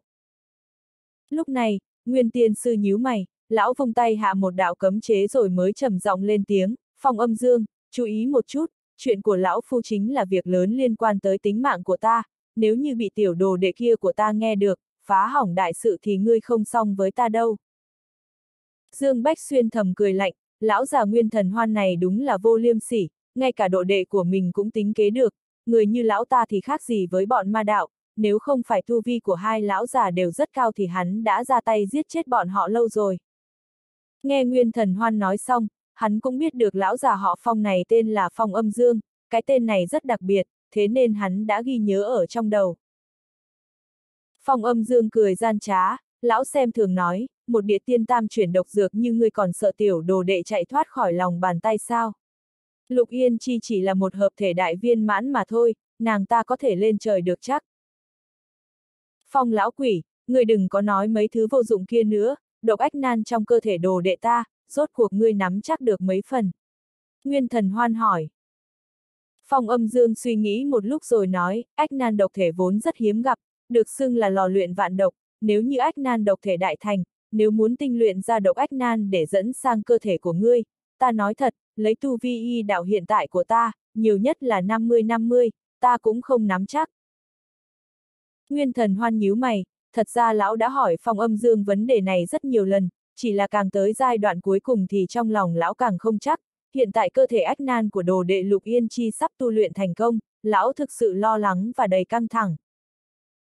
Bởi vì, tán tiên thiên kiếp lần thứ tư của Nguyên Thần Hoan cũng sắp tới rồi, lão ta không nắm chắc lần độ thiên kiếp tứ chuyển này, thế nên tất cả đều đặt lên người đồ đệ Lục Yên Chi, chỉ cần ách nan chi thể của Lục Yên Chi thành công, lão ta sẽ để phòng âm dương dùng y đạo để dẫn độc ách nan từ trong cơ thể của Lục Yên Chi sang người mình, tới khi đó, lão sẽ hoàn toàn tự tin độ thiên kiếp tứ chuyển. Nhưng điều kiện đầu tiên là lão ta phải lấy được độc ách nan, không hề dễ dàng, yêu cầu rất cao về y thuật, ở tu chân giới này, y đạo của phong âm dương cũng có thể xem là nổi danh, chỉ có duy nhất một điểm không ổn, lão già này lại háo sắc, lão ta nhìn chúng đồ đệ khúc minh nguyệt, hai người bọn họ đã làm giao dịch, nguyên thần hoàn giao đồ đệ khúc minh nguyệt, sau đó phong âm dương sẽ giúp lão ta dẫn độc ách nan, đương nhiên lão ta còn đồng ý cho phong âm dương rất nhiều thiên tài địa bảo. Nhưng phong âm dương chỉ nắm chắc 5 phần làm cho nguyên thần hoan không yên tâm, bởi vì lão ta đã đánh cược tất cả, nhưng lão cũng biết y đạo không hề đơn giản. Nhắc tới y đạo, Nguyên Thần Hoan đột nhiên nhớ tới Dương Bách Xuyên, lão ta đã xem đá phản chiếu mà Mộc Văn Hương đưa tới, mặc dù lão chủ yếu tu luyện độc dược nhưng cũng có chút hiểu biết về y đạo, lão ta nhìn thấy Dương Bách Xuyên tay không trừ độc cho thú ngũ hành, thi triển một loại kết ấn y đạo vô cùng cổ xưa, điều này khiến cho Nguyên Thần Hoan nghĩ, liệu phong âm dương có thể lĩnh ngộ được không? Nếu để phong âm dương cảm ngộ, nâng cao y đạo, vậy thì cơ hội thành công sẽ tăng thêm. Rõ ràng Dương Bách Xuyên là một kẻ có y đạo không tệ, Nguyên Thần Hoan cũng không phải chưa từng nghĩ đến việc để Dương Bách Xuyên dẫn độc ách nan cho mình, nhưng vì lão biết không thể, chưa nói với việc Dương Bách Xuyên có bằng lòng hay không, do dù bắt hắn, ép hắn đồng ý thì tu vi của Dương Bách Xuyên cũng quá thấp, có bản lĩnh y đạo thì cũng không luyện hóa được độc ách nan. Huống chi, Dương Bách Xuyên lại có quan hệ với Điện Trường Sinh, đây là điều mà Nguyên Thần Hoan rất kiêng dị. Vậy nên chỉ có thể trông cậy vào phong âm dương, tốt xấu gì thì lão cũng hiểu rõ phong âm dương, hai người họ quen biết mấy nghìn năm, cũng xem như biết rõ gốc rễ, giúp phong âm dương nâng cao y đạo đồng nghĩa với việc lão đang giúp chính bản thân mình. Nghĩ vậy, Nguyên Thần Hoan ném đá phản chiếu cho phong âm dương, xem thử cái này đi, mong là ngươi có thể học hỏi được, bên trong là ghi chép hình ảnh tên tiểu tử Dương Bách Xuyên giải độc cho thú cưới của hắn, không ngờ tên tiểu tử này cũng là y tu, hơn nữa quá trình hắn ta giải độc lại không hề sử dụng bất cứ linh dược nào, chỉ đơn giản dựa vào một loại kết ẩn y đạo nào đó, giải toàn bộ độc cho thú cưỡi, quả là thú vị. Phong âm dương nghe Nguyên Thần Hoan nói xong cũng không thèm để ý chút nào, lão ta không tin, một tên tiểu tử cảnh giới hợp thể thì y thuật có thể cao được bao nhiêu, đối với y tu mà nói, tu luyện y đạo chính là con đường hao tổn thời gian nhất, tu vi, tu chất, nhận thức. Thiếu một thứ thì sẽ không thể đạt được thành tựu trong y đạo, nhưng nhiều đó cũng chỉ như nhập môn mà thôi. Y đạo của Bảo La Vạn Tượng đâu có dễ tu luyện như vậy. Phong âm Dương cho rằng, Dương Bách Xuyên nhiều nhất chỉ là nắm chắc nền tảng cơ bản y đạo mà thôi, hắn ta thì có gì đáng kinh ngạc. Lão vừa nghĩ vừa mở đá ra xem. Phong âm Dương khinh thường nhìn viên đá, vừa bắt đầu thì lão nghĩ như vậy, nhưng sau khi nhìn thấy hình ảnh Dương Bách Xuyên thi triển ra từng kết ấn huyền ảo cổ quái, cuối cùng vẻ mặt của lão ta cũng thay đổi. Bên trong phòng khách lâm vào một mảnh tĩnh lặng. Dương Bách Xuyên núp trong tối cũng đang lẳng lặng quan sát, hắn cũng muốn nghe thử xem, rốt cuộc hai lão già này đang muốn làm cái gì, không ngờ lại thấy được hình ảnh mình đang trị độc cho thú ngũ hành. Vẻ xem thường trên gương mặt của phong âm dương dần biết mất, thay vào đó là sự phấn khích bị kìm nén, có thể thấy cơ thể của lão ta đang run lên, đôi mắt già nua đang nhìn chằm chằm cảnh tượng Dương Bách Xuyên trị độc cho thú ngũ hành. Sau khi Nguyên Thần Hoan nhìn thấy thay đổi trên gương mặt Nguyên Thiền Hoan, trong lòng sinh ra một chút chờ mong, lão không quấy rầy phong âm dương, yên lặng đứng một bên đợi. Qua một lúc, bên trong đá phản chiếu, Dương Bách Xuyên đã trị độc xong cho thú ngũ hành, thú ngũ hành nôn ra một ngụm máu màu đen rồi từ từ tỉnh lại, lúc này, hình ảnh trong viên đá cũng tan biến. Phong âm dương đứng bật dậy, kích động nói, thần ma y đạo thất truyền, chắc chắn là thần ma y điển chi thuật, lão phu nhất định phải đoạt được. Nguyên thần hoan nghe vậy, lão không nhịn được hỏi, phong lão quỷ, thần ma y điển cái gì cơ? Mánh khóe chữa trị của tiểu tử này có tác dụng với ngươi không?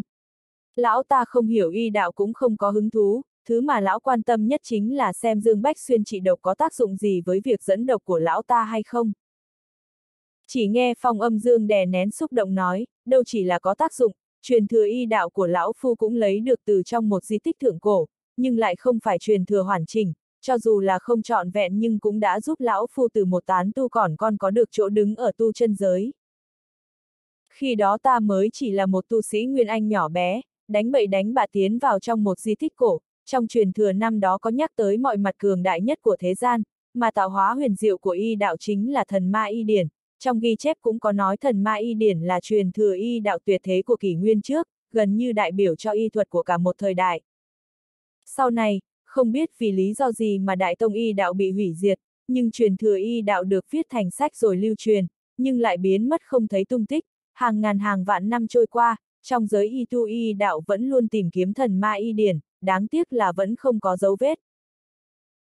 Nhưng cũng có lời đồn, thần ma y điển, hiện tại cũng chỉ có một trong những gia tộc cổ xưa ở thánh địa vương triều hiên viên có được số lượng ít truyền thừa. Hơn nữa, lão tổ hoàng đế hiên viên chỉ dựa vào nền tảng từ chút ít thần ma y điển đã sáng tạo ra, cũng là y đạo thượng thừa ngày nay. Cũng vì vậy mà gia tộc hiên viên đã khai sáng ra vương triều hiên viên, thăng cấp trở thành một trong chín thánh địa ở tu chân giới, địa vị kiên cố. Không được, lão phu phải lấy được thần ma y điển từ trên người tên tiểu tử kia, nhất định. Vừa dứt lời thì toàn thân lão ta run lên, trông như một kẻ điên. Dương Bách Xuyên ở trong tối nghe phong âm Dương nói vậy thì rất ngạc nhiên, không ngờ lão già này còn biết tới thần ma y điển. Đột nhiên Nguyên Thần Hoan lên tiếng nói, sao ngươi có thể xác định thứ Dương Bách Xuyên thi triển chính là. Lúc này, phòng âm Dương trầm mặc, nhìn màn đêm vô tận ngoài cửa sổ, qua một lúc lâu, lão mới xa xăm nói, bởi vì năm đó di tích cổ mà lão phu đoạt được truyền thừa chính là cấm địa của gia tộc hiên viên, ta đã thấy phần thần ma y điển không trọn vẹn và kết ấn Dương Bách Xuyên thi triển chính là nhất mạch tương thừa. Hơn nữa trước kia, lão phu chính là thần thú bảo hộ cho gia tộc hiên viên, tộc phong vân thần khuyển. Ở trong tối, Dương Bách Xuyên nghe thấy vậy thì cơ thể run lên, không ngờ lão già này lại có xuất thân từ bộ tộc thần thú thủ hộ cho gia tộc hiên viên, điều này làm hắn nhớ tới phong vân thần khuyển, phong vân dạ lang bị phong ấn ở động Hắc Liên trong bí địa trường Bạch năm đó. Nghe phong âm dương nói vậy, nguyên thần hoan hết sức ngạc nhiên, không ngờ phong âm dương lại là thần thú thủ hộ của gia tộc hiên viên, tộc phong vân thần khuyển. Thần khuyển là thú đó. Lão ta rõ ràng là người, sao lại nói bản thân là thần khuyển? Đây là vấn đề không chỉ có nguyên thần hoan nghi ngờ mà ngay cả Dương Bách Xuyên cũng vậy, rõ ràng là người nhưng phong âm dương lại xưng là tộc phong vân thần khuyển. Phong âm dương lại nói tiếp, mấy ngàn năm trước, ta là một trong những thần thú xuất chúng bảo vệ gia tộc hiên viên, chỉ vì ngủ với một cung nữ mà bị nhà hiên viên đưa vào địa ngục cấm địa. Vừa nói phong âm dương vừa oán hận, lão ta hơi dừng rồi tiếp tục, tộc phong vân thần khuyển ta bảo vệ gia tộc hiên viên qua nhiều thế hệ, chỉ vì lão phu ngủ với một cung nữ đê hèn mà trừng phạt, hủy thân thể của ta. Trong cái rủi có cái may, lão phu lấy được truyền thừa y đạo ở cấm địa gia tộc hiên viên, ôm lấy nguyên thần rồi chạy khỏi nơi đó.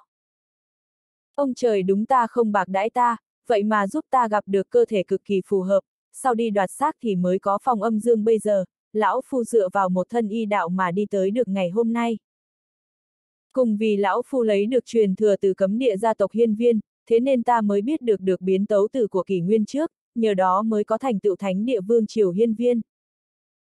Theo như lão phu được biết, gia tộc hiên viên chưa bao giờ từ bỏ việc tìm kiếm, hôm nay bị lão phu gặp được, ta dám khẳng định, phương pháp thi triển kết ấn của Dương Bách Xuyên chính là. Hơn nữa, có vẻ như tên tiểu tử kia nắm được rất chi tiết, có lẽ là bản hoàn chỉnh, lão nguyên, nếu như ta có thể đoạt được y điền khi dẫn độc ách nan cho ngươi sẽ nắm chắc 10 phần. Phong âm Dương nói chắc như đinh đóng cột. Dương Bách Xuyên nghe thấy phong âm Dương nói vậy, trong lòng thầm chửi rủa, đúng là lão già không biết xấu hổ, cưỡng gian cung nữ mà còn ra vẻ hùng hồn như vậy. Không bị gia tộc hiên viên hủy diệt nguyên thần là may lắm rồi, nếu như hiên viên đã được xưng là vương triều, vậy thì đương nhiên đó là một nơi có pháp luật nghiêm trị, đừng nghĩ người có công là có thể cưỡng gian một cung nữ, nếu không trừng phạt thì sao có thể gọi là thánh địa.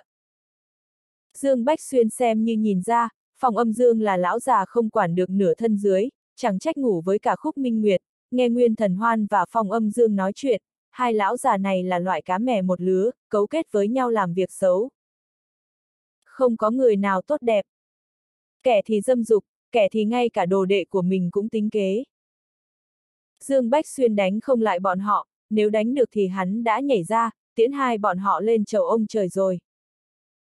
Điều quan trọng nhất là, hắn không ngờ phong âm dương chỉ nhìn hình ảnh hắn trị độc cho thú ngũ hành đã nhận ra được, nhìn dáng vẻ của lão ta có vẻ như nhất định phải đoạt được. Dương Bách Xuyên biết mình bị người ta nhớ thương, lại còn là một lão giả địa tiên ta chuyển, đây là một chuyện chẳng hay ho gì, trong lòng hắn nhất thời lo lắng. Nguyên thần hoan trầm ngâm một chút rồi nói, hay là ra tay trên phi thuyền, trực tiếp bắt lấy tên tiểu tử Dương Bách Xuyên, sau đó siêu hồn đoạt. Trong lòng của Nguyên thần hoan, chỉ cần có thể giúp bản thân dẫn động ách nan thì cái gì lão ta cũng dám làm. Dứt lời, trái tim Dương Bách Xuyên như treo lên, nếu như hai lão địa tiên tam chuyển cùng ra tay với hắn trên phi thuyền thì ngay cả cơ hội bỏ chạy hắn cũng không có. May mà phong âm Dương lên tiếng, không cần thiết, nếu như ra tay với tên tiểu tử kia trên phi thuyền, cho dù lấy được thì cũng không có cơ hội thu luyện, ngươi đừng quên điện tiểu tử kia có quan hệ với điện trường sinh, nếu như hắn ta thật sự xảy ra chuyện, để người của điện trường sinh biết được thì ta và ngươi có trốn tới chân trời góc bể cũng khó thoát khỏi cái chết. Bản chất của chúng ta là sống tốt hơn, không phải tìm cái chết càng sớm càng tốt, thế nên ở tu chân giới hay nhất là trên phi thuyền thì chúng ta càng không thể ra tay. Đừng quên tinh hải thái hoang mà ta đã nói, đợi sau khi tên tiểu tử kia tới tinh hải thái hoang, chúng ta không cần phải lo lắng về phía điện trường sinh nữa. Nhưng quy luật trong tinh hải thái hoang rất quỷ dị, có nhiều khu vực cấm chế, những nơi mà tu vi thấp hơn độ kiếp mới có thể tiến vào, chúng ta không đi được, vậy thì làm thế nào? Nguyên thần hoan nói, cái này thì ngươi yên tâm đi, lão phu đã đồng ý với khúc minh nguyệt sẽ giết chết Dương Bách Xuyên, đến lúc đó lão phu sẽ cho hai đệ tử tiến vào tinh hải thái hoang, cộng thêm hai đệ tử của ngươi, bốn người liên thủ cũng thừa đủ trừng trị một Dương Bách Xuyên tu vi hợp thể, sau khi đoạt được thì sẽ thẳng tay giết chết hắn ta, thần không biết quỷ không hay, không để lại bất kỳ dấu vết nào cho điện trường sinh. Ánh mắt phong âm dương lóe lên một tia sắc lạnh. Nguyên thần hoàn nghĩ ngợi rồi gật đầu nói, được, cứ quyết định vậy đi, mặc dù đồ đệ của ta mới chỉ ở cảnh giới hợp thể, nhưng ách nan độc thể trời sinh, khả năng dùng độc đã vượt qua khúc minh nguyệt, tới khi đó lão phu sẽ đưa cho nàng và khúc minh nguyệt một loại độc dược do đích tay ta luyện chế, đảm bảo với ngươi, cho dù y thuật của Dương Bách Xuyên có cao tới đâu cũng sẽ phải bó tay. Ta đã truyền tin cho hai đồ đệ đợi ở Ngân Hà, đến lúc đó để cho bốn người bọn họ cùng liên thủ, đảm bảo không có chuyện gì xảy ra, chỉ cần lão phu lấy được giúp ngươi dẫn ách nan độc thể là chuyện đơn giản, vậy thì những thiên tài địa bảo mà ngươi đồng ý với lão phu cũng không cần nữa. Lần này ta chỉ cần, ngươi có được điều ngươi muốn, ta cũng lấy được thứ ta cần. Phong âm dương nói tiếp. Vậy là tốt. Chấm chấm chấm.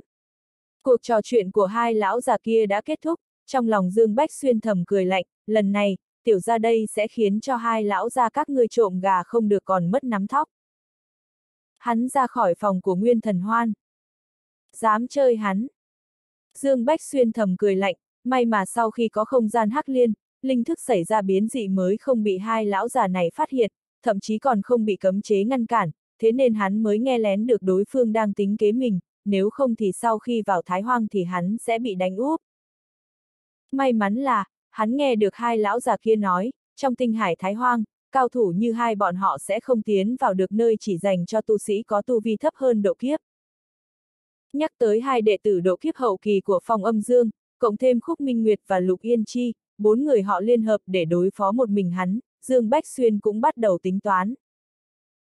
Khúc Minh Nguyệt có tu vi độ kiếp sơ kỳ, cho dù nàng ta dùng độc thì hắn cũng không sợ, điều làm hắn kiêng kỵ là hai gã độ kiếp hậu kỳ, dù sao thì tu vi của họ cũng cao hơn hắn một khoảng cách lớn, hơn nữa đối phương còn có tới hai người, Dương Bách Xuyên cũng không chắc, còn một người làm hắn kiêng rẻ chính là Lục Yên Chi, nghe Nguyên Thần Hoan nói, Lục Yên Chi sắp thu thành ách nan độc thể, lợi hại hơn nhiều so với Khúc Minh Nguyệt. Hơn nữa, Nguyên Thần Hoan còn đưa cho hai đệ tử của Lao ta một loại độc do lão ta đích thân luyện chế để đối phó với hắn, Dương Bách Xuyên e sợ, xem ra lần này hắn sẽ rất nguy hiểm. Nhưng sau khi Dương Bách Xuyên nghe lén cuộc trò chuyện của Nguyên Thần Hoan và Phong Âm Dương, trong lòng hắn cũng thầm tính toán, chuẩn bị thử đi lôi kéo Lục Yên Chi.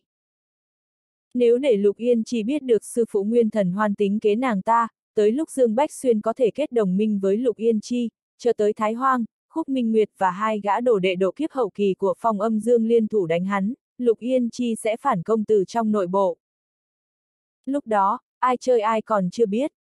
Về việc làm thế nào để tiếp xúc với Lục Yên Chi, sau khi nghĩ ngợi, hắn quyết định dùng Hắc Liên nhiếp hồn đại pháp, để thần hồn của Lục Yên Chi tiến vào không gian Hắc Liên nói chuyện, tất nhiên linh thức của hắn có thể tiến vào phòng của Lục Yên Chi, nhưng Dương Bách Xuyên sợ sẽ bị người phát hiện, lúc đó sẽ gây thêm rắc rối, hơn nữa bên trong không gian Hắc Liên, hắn chính là chủ, có thể thông qua ký ức thần hồn, cho Lục Yên Chi biết tất cả những gì mà linh thức của hắn nhìn hay nghe được, nếu không thì sẽ rất khó để Lục Yên Chi tin tưởng sư phụ nàng ta tính kế mình. Tu vi của Lục Yên Chi là cảnh giới hợp thể đại viên mãn, mặc dù Dương Bách Xuyên là hợp thể sơ kỳ nhưng bàn về nguyên thần thì hắn không sợ bất kỳ kẻ nào cung cấp. Hơn nữa Dương Bách Xuyên còn có không gian hắc liên gia cố, có lẽ sẽ nhiếp hồn Lục Yên Chi thành công, giam cầm nguyên thần của nàng ta vào trong không gian của hắn. Vì để bảo đảm thành công, sau khi linh thức của Dương Bách Xuyên trở về, hắn tiến vào ý thức hải, chuẩn bị tìm Hắc Liên hỏi một chút, dù sao thì hắn cũng chưa từng nhiếp thần hồn của người khác. Sau khi vào ý thức hải, Dương Bách Xuyên hô lên, Hắc Liên. Giây sau, Hắc Liên lóe lên, hóa thân thành một nữ tử mặc đồ đen, xuất hiện trước mặt Dương Bách Xuyên. Dương Bách Xuyên trực tiếp nói ra suy nghĩ trong lòng mình, hỏi nàng có thể thành công hay không, hoặc là nên làm như thế nào để an toàn hơn.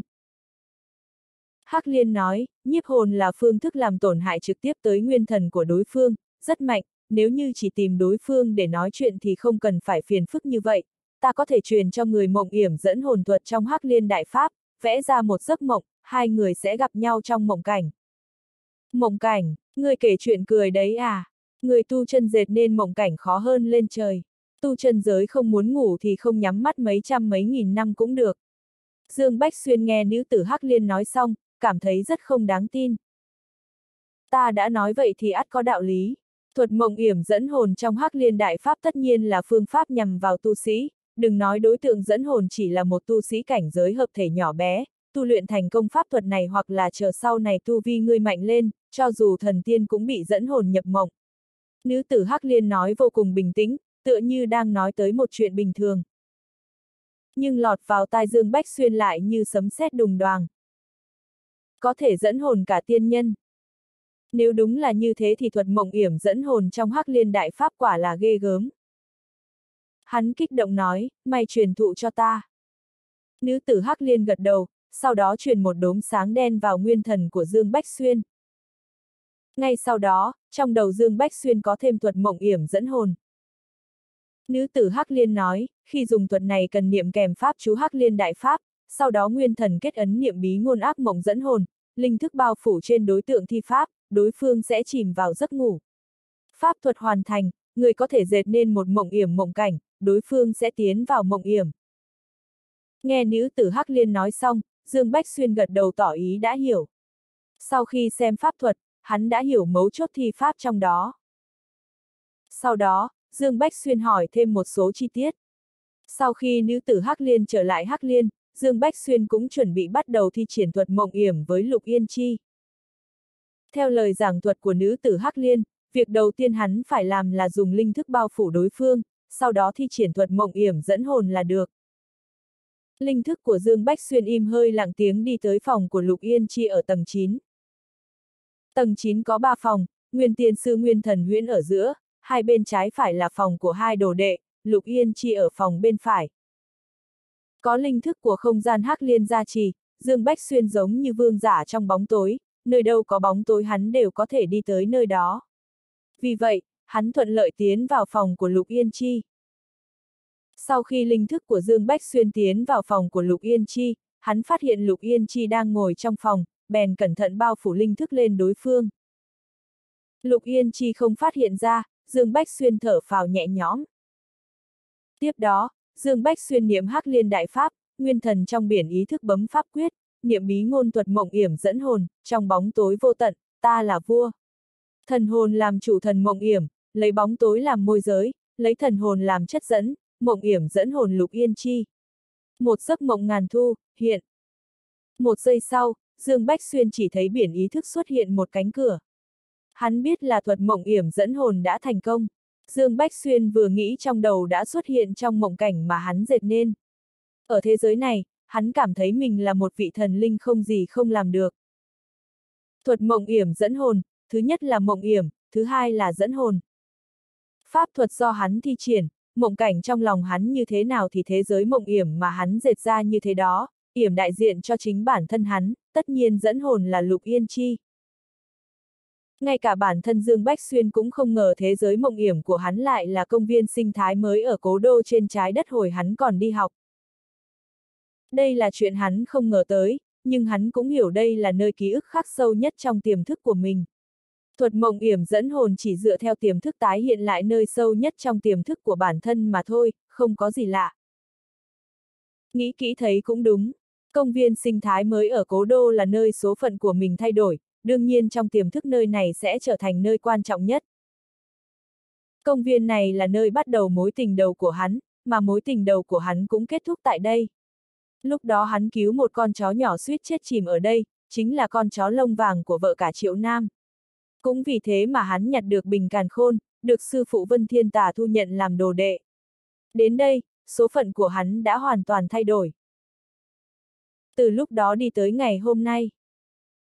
Vì vậy, nơi này xem như là nơi may mắn của hắn, nơi thay đổi quỹ đạo cuộc đời. Mặc dù là thế giới dệt nên bằng pháp thuật mộng yểm, nhưng vô cùng chân thực, vô cùng thân thiết. Hành lang, tròi nghỉ mát, hồ nước, núi giả, vườn hoa, rừng trúc. Hiện ra vô cùng sống động. Ở đây Dương Bách Xuyên cảm thấy tâm hồn tĩnh lặng, hắn thích nơi này. Đúng lúc này, có tiếng bước chân vang lên. Dương Bách Xuyên ngoảnh đầu thì thấy một thiếu nữ xinh đẹp mặc cổ trang màu trắng đi men theo con đường nhỏ dải đá cội ven hồ tới. Chính là Lục Yên Chi. Hắn biết thuật mộng yểm dẫn hồn đã thành công dẫn dắt thần hồn của Lục Yên Chi vào trong thế giới mộng yểm do hắn dệt ra. Mà lúc này, khoảng cách giữa hai người rất xa nhưng Dương Bách Xuyên vẫn có thể nhìn thấy dáng vẻ sững sờ của Lục Yên Chi, dường như nàng ta đang suy nghĩ vì sao mình lại đến một thế giới như thế này.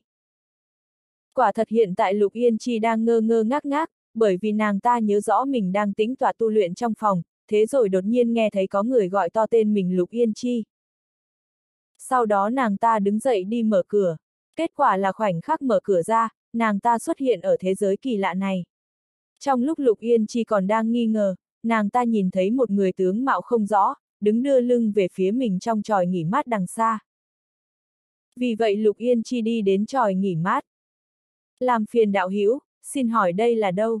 Lục Yên Chi đến tròi nghỉ mát, chắp tay hỏi Dương Bách Xuyên đang đưa lưng về phía mình.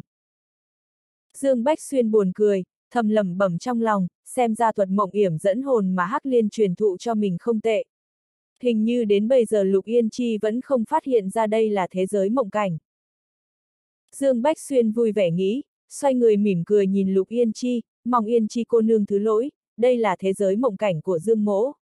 Bởi vì có nguyên nhân nên Dương Mỗ đành phải dùng cách này mời Yên Chi cô nương đi một chuyến. Thật ra Lục Yên Chi không xấu, hơn nữa còn khá lương thiện. Ban ngày sư tỷ khúc minh nguyệt của nàng ta và Dương Bách Xuyên đánh nhau một trận, tuy Dương Bách Xuyên suýt giết chết sư tỷ nhưng nàng ta không trách Dương Bách Xuyên. Bởi vì chuyện ban ngày vốn là nàng ta và sư tỷ khúc minh nguyệt làm sai, chưa có sự đồng ý của Dương Bách Xuyên đã hạ độc tỏa kỵ của người ta, là bên đối lý trước. Mặc dù người hạ độc là sư tỷ, nhưng Lục Yên Chi vẫn cảm thấy đối lý. Nghe Dương Bách Xuyên nói vậy, Lục Yên Chi giật mình, mộng cảnh của ngươi. Ngươi đang. Lục Yên Chi biến sắc, nhìn Dương Bách Xuyên. Đối phương có thể đưa mình vào mộng cảnh của hắn đủ để chứng minh bản lĩnh của hắn rất cao cường. Nàng ta lập tức cảnh giác, nhìn Dương Bách Xuyên bằng ánh mắt bất thiện, tỏ ý nếu Dương Bách Xuyên không đưa ra lời giải thích hợp lý thì nàng ta sẽ trở mặt. Đương nhiên Dương Bách Xuyên biết Lục Yên Chi nghĩ gì, nhưng hắn không có nhiều thời gian giải thích cặn kẽ cho Lục Yên Chi, bèn thẳng thắn nói, Yên Chi cô nương nương đừng hiểu lầm, nơi ta mời ngươi đến chỉ là mộng cảnh, sẽ không tạo thành tổn thương thực tế đối với ngươi. Thế này nhé, ta cho ngươi xem một số hình ảnh cộng hưởng, xem xong ngươi sẽ biết vì sao ta tìm ngươi. Hơn nữa, có lẽ chúng ta sẽ trở thành đồng minh đấy. Dương Bách Xuyên biết muốn làm cho Lục Yên Chi tin tưởng mình, cứ dứt khoát cho nàng ta tận mắt xem cuộc nói chuyện giữa sư phụ nguyên tiên sư của nàng ta và phong âm dương. Thì nàng ta sẽ hiểu. Trời sắp sáng rồi, hắn sợ đêm dài lắm mộng, lập tức cho Lục Yên Chi xem tất cả những gì hắn nhìn thấy, nghe thấy vào tối hôm nay. Thế giới mộng yểm là thế giới của Dương Bách Xuyên, hắn là chúa tể, không cần thi triển pháp thuật cộng hưởng, chỉ cần nghĩ trong lòng là khung cảnh xung quanh đã thay đổi. Đầu tiên là đến phòng của Nguyên Tiên Sư Nguyên Thần Huyễn. Cảnh tượng Lục Yên Chi nhìn thấy lúc này là một bản thân khác đang nói chuyện với sư phụ trong phòng của sư phụ. Sư phụ, sao con thấy ánh mắt phong sư bá nhìn sư tỷ rất xấu xa, sẽ không có chuyện gì chứ? Vớ vẩn, ta với phong lão quỷ là bạn tốt, tính cách hắn hơi quái gở chút thôi, những cái khác không xấu. Và lại người ta điều chỉ cánh tay cụt cho sư tỷ của con đấy, con là tiểu bối sao lại nghi ngờ trưởng bối hả? Chấm chấm chấm. Lời thoại quen thuộc, căn phòng quen thuộc, bản thân và sư phụ quen thuộc. Đây là cuộc đối thoại giữa nàng ta và sư phụ lúc ban ngày. Ban đầu Lục Yên Chi rất kinh ngạc, nhưng sau đó nàng ta hiểu ra đây chỉ là hình ảnh ghi lại thông qua một loại bí thuật nào đó mà thôi. Tiếp theo, Lục Yên Chi nhìn thấy mình đi ra khỏi phòng, nhưng sư phụ vẫn đứng ở cửa nhìn theo mình rời đi. Sau đó, nàng ta nghe thấy sư phụ Nguyên Tiên Sư lẩm bẩm. Sắp rồi, sắp rồi. Đến khi ách nan độc thể của con đạt đến đại thừa chính là lúc vi sư độ tán tiên kiếp lần thứ tư. Vi sư dốc hết tâm huyết nuôi dưỡng con 500 năm, cuối cùng cũng nhìn thấy hy vọng. Tán tiên vinh quang đấy, nhưng có ai biết tán tiên kiếp nghìn năm một lần là mỗi lần đi dạo quỷ môn quan. Nguyên thần huyễn ta tu đạo 4.800 năm, có thể đi tới cảnh giới địa tiên tam chuyển ngày hôm nay thật sự quá khó khăn. Sắp đối mặt với tán tiên kiếp lần thứ tư, không có thủ đoạn thì phải dạo quỷ môn quan một lần, sao ta có thể cam lòng chết đi. Lục Chi ơi Lục Chi à, vì sư tìm được con trong biển người chẳng dễ gì. Ách nan độc thể trời sinh là hy vọng độ kiếp của vi sư. Muốn trách thì trách số phận của con đi, ai bảo con là ách nan độc thể chứ? Lục Yên Chi trợn tròn mắt nhìn sư phụ đang lẩm bẩm, nước mắt rơi tí tách. Nàng ta không ngốc, tất nhiên hiểu ý của sư phụ. Không có khả năng, không có khả năng. Sư phụ sẽ không, sẽ không. Chắc chắn ngươi chỉ đang cố làm ra vẻ huyền bí hòng ly gián quan hệ giữa thầy trò chúng ta mà thôi, không thể nào. Cả người Lục Yên Chi không ngừng dậy, liên tục nói không có khả năng. Nhưng Dương Bách Xuyên lại cười khẩy, đây chỉ là bắt đầu, tiếp tục xem đi, xem xong rồi thì tự phán đoán có phải ta đang ly gián quan hệ thầy trò các ngươi hay không. Dứt lời trong lòng Dương Bách Xuyên khẽ động, cảnh tượng lại thay đổi, một lão bất tử tóc hoa dâm đang đè trên người một nữ tử. Sư tỷ, Lục Yên Chi kinh hãi kêu lên. Chỉ là hình ảnh ký ức, ngươi không cần phải kinh ngạc, chờ đến khi bọn họ nói chuyện, ngươi sẽ có niềm vui bất ngờ. Giờ phút này Dương Bách Xuyên cảm thấy hắn trực tiếp bày ra những thứ này cho Lục Yên Chi xem có chút tàn nhẫn với nàng ta, thế nhưng vì mục đích kết minh với Lục Yên Chi, để nàng ta nhìn rõ bộ mặt thật của sư phụ và sư tỷ nàng ta, hắn không thể không làm. Làm sao có thể, ta biết phong sư thúc không có ý tốt với sư tỷ, hắn, thế mà hắn, ngay cả sư phụ cũng không tin ta, lục son ngơ ngác nhìn lão bất tử phong sư thúc đang hì hục trên người sư tỷ, run rẩy lên tiếng. Không phải sư phụ ngươi không tin ngươi mà là ông ta đã ngấm ngầm đồng ý chuyện này rồi, chẳng qua ngươi không biết mà thôi. Chờ ngươi xem xong những hình ảnh này, ngươi sẽ biết sư phụ ngươi, nguyên tiên sư nguyên thần huyễn là người như thế nào. Dương Bách Xuyên thản nhiên nói. Cảnh tượng tiếp tục diễn ra, Lục Yên Chi quay đầu đi không nỡ nhìn phong âm Dương dở trò đổi bại với sư tỷ nữa. Sau khi nghe cuộc đối thoại giữa phong âm Dương và sư tỷ, dường như Lục Yên Chi đã hơi hiểu nguyên nhân Dương Bách Xuyên tìm mình. Nàng ta nghe thấy sư tỷ Khúc Minh Nguyệt oán hận chửi bởi Dương Bách Xuyên, nghe được phong âm Dương có ý định phái hai đồ đệ độ kiếp hậu kỳ liên hợp với Khúc Minh Nguyệt chém giết Dương Bách Xuyên ở Thái Hoang Tinh Hải. Cũng nghe được sư tỷ Khúc Minh Nguyệt ghen tị và oán hận người sư muội là nàng ta như thế nào, cảm xúc trong lòng nàng ta dối như tơ vò. Sau đó cảnh tượng lại thay đổi, xuất hiện ở phòng sư phụ Nguyên Tiên Sư, ở chỗ này Lục Yên Chi chứng kiến sư phụ Nguyên Tiên Sư đang ngấp nghé ách nan độc thể của nàng ta. Hơn nữa sau khi nghe được cuộc đối thoại giữa phòng âm dương và sư phụ Nguyên Tiên Sư, hô hấp của Lục Yên Chi như nghẹn lại, đầu óc kêu ông ông. Trong hình, nàng ta thấy sư phụ Nguyên Tiên Sư nói với phòng âm dương, phòng lão quỷ, lão phu đã đưa đồ đệ đến đây, hy vọng ngươi đừng quên đáp ứng chuyện của ta, nếu không lão phu không để yên đâu. Khắc khắc khắc, lão độc vật nguyên thần huyễn, ta và ngươi giống nhau cả thôi, yên tâm đi, chỉ cần tiểu đồ đệ ách nan độc thể đại thừa của ngươi đến đây, lão phu nhất định sẽ giúp ngươi tinh luyện độc căn nguyên trong cơ thể nàng ta. Đến lúc đó, độc công của lão độc vật sẽ đại thành, lo gì không độ được tán tiên kiếp lần thứ tư. Phong âm dương, ngươi nói nàng ý tứ một chút, chuyện của lão phu chính là đại sự liên quan đến tính mạng thân gia, nếu bị tiểu đồ ta nghe được, phá hỏng việc lớn của lão phu thì ngươi chết với ta. Ngươi là lão độc vật tam chuyển địa tiên, còn sợ tiểu đồ đệ ngươi chạy thoát khỏi lòng bàn tay à? Lục Yên Chi chỉ là hợp thể cảnh đại viên mãn mà thôi, nàng ta có thể bay lên trời được ư. Phong lão quỷ, đừng nói nhiều, rốt cuộc ngươi có bao nhiêu phần nắm chắc với ách nan độc thể của tiểu đồ đệ ta. Ách nan độc thể vô cùng hiếm thấy trên thế gian được xưng là vạn độc lô đỉnh, nếu là ách nan độc thể đại thành, muốn tinh luyện ra độc ách nan chuyển qua người ngươi, nói thật, với tu vi lẫn y đạo bây giờ của lão phu nhiều nhất là 5 phần, không hoàn toàn nắm chắc được. Chấm chấm chấm.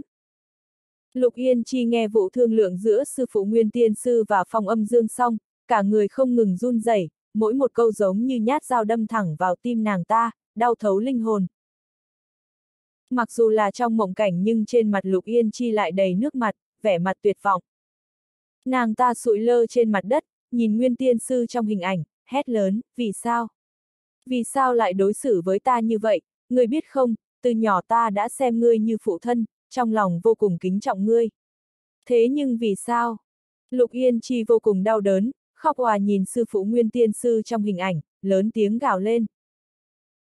Sau khi Dương Bách Xuyên đạt được mục đích, trong lòng vừa động, hình ảnh tan đi, cảnh tượng bốn phía lại một lần nữa quay về công viên, tuy hắn biết cho Lục Yên Chi xem những thứ này, nhìn thấu bộ mặt thật sự của sư phụ Nguyên Thần Huyễn là một việc rất tàn nhẫn, chắc chắn nàng ta sẽ đau khổ muốn chết.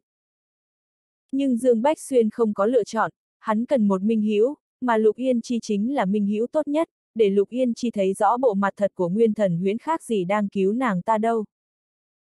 Nếu như không cho Lục Yên Chi biết chân tướng thì ngày sau chờ đến khi ách nan độc thể đại thành cũng chính là ngày nàng ta bị Nguyên Thần Huyễn luyện hóa hấp thu, cuối cùng khó thoát khỏi cái chết.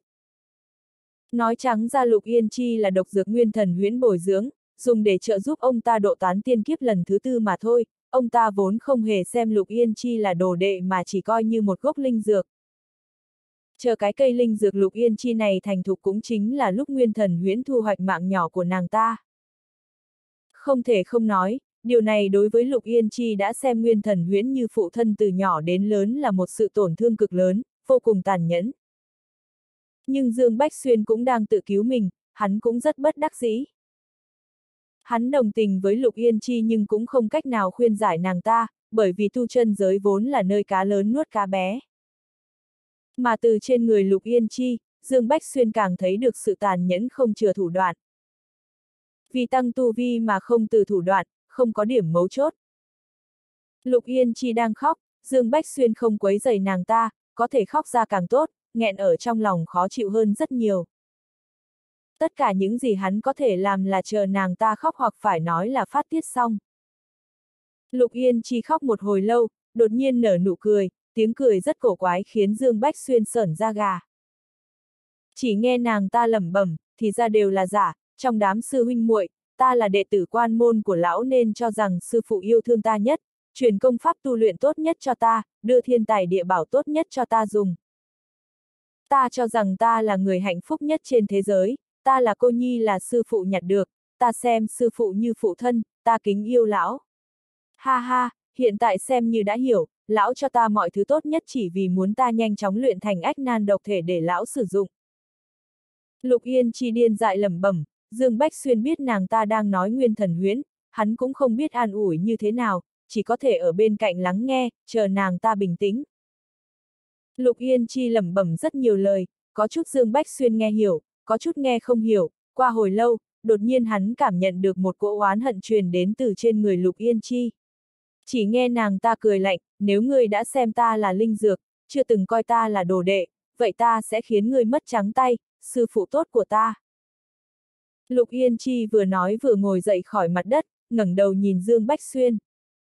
Giờ khắc này Dương Bách Xuyên thấy được hận ý ngập trời từ trong ánh mắt nàng ta, hai mắt như tóe lửa.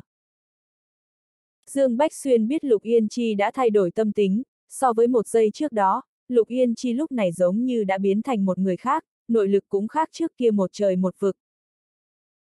Hắn biết sự thay đổi lớn nhất của một con người không phải mặt ngoại hình mà là tinh thần, hiện tại Lục Yên Chi như biến thành một người khác, đây chính là biến hóa sau khi bị tổn thương sâu sắc.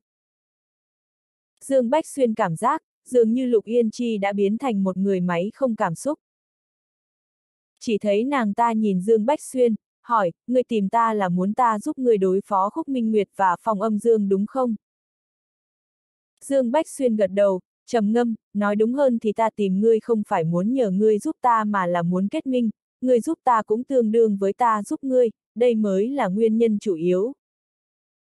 Nói thật, ta cho ngươi biết chân tướng để ngươi có thể tránh được sư phụ ngươi, đến lúc đó ngươi tránh thoát vận rủi bị nguyên thần huyễn luyện hóa ách nan độc thể, đổi lại, ta cần sau khi tiến vào Thái Hoang Tinh Hải, nếu như đám người Khúc Minh Nguyệt thật sự đuổi giết ta, ngươi hãy giúp đối phó Khúc Minh Nguyệt, chúng ta liên hợp ở Thái Hoang.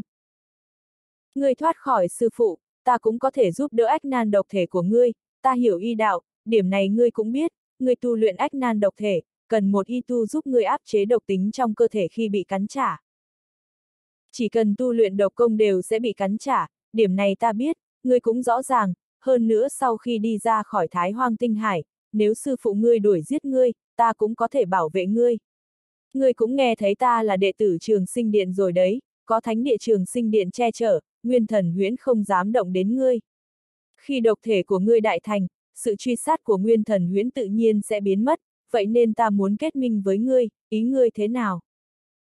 Dương Bách Xuyên sợ Lục Yên Chi không chịu nên nhắc tới trường sinh điện, dù sao nếu lão đầu tử không lừa gạt hắn thì trường sinh điện chính là thế lực tông môn của đại sư huynh.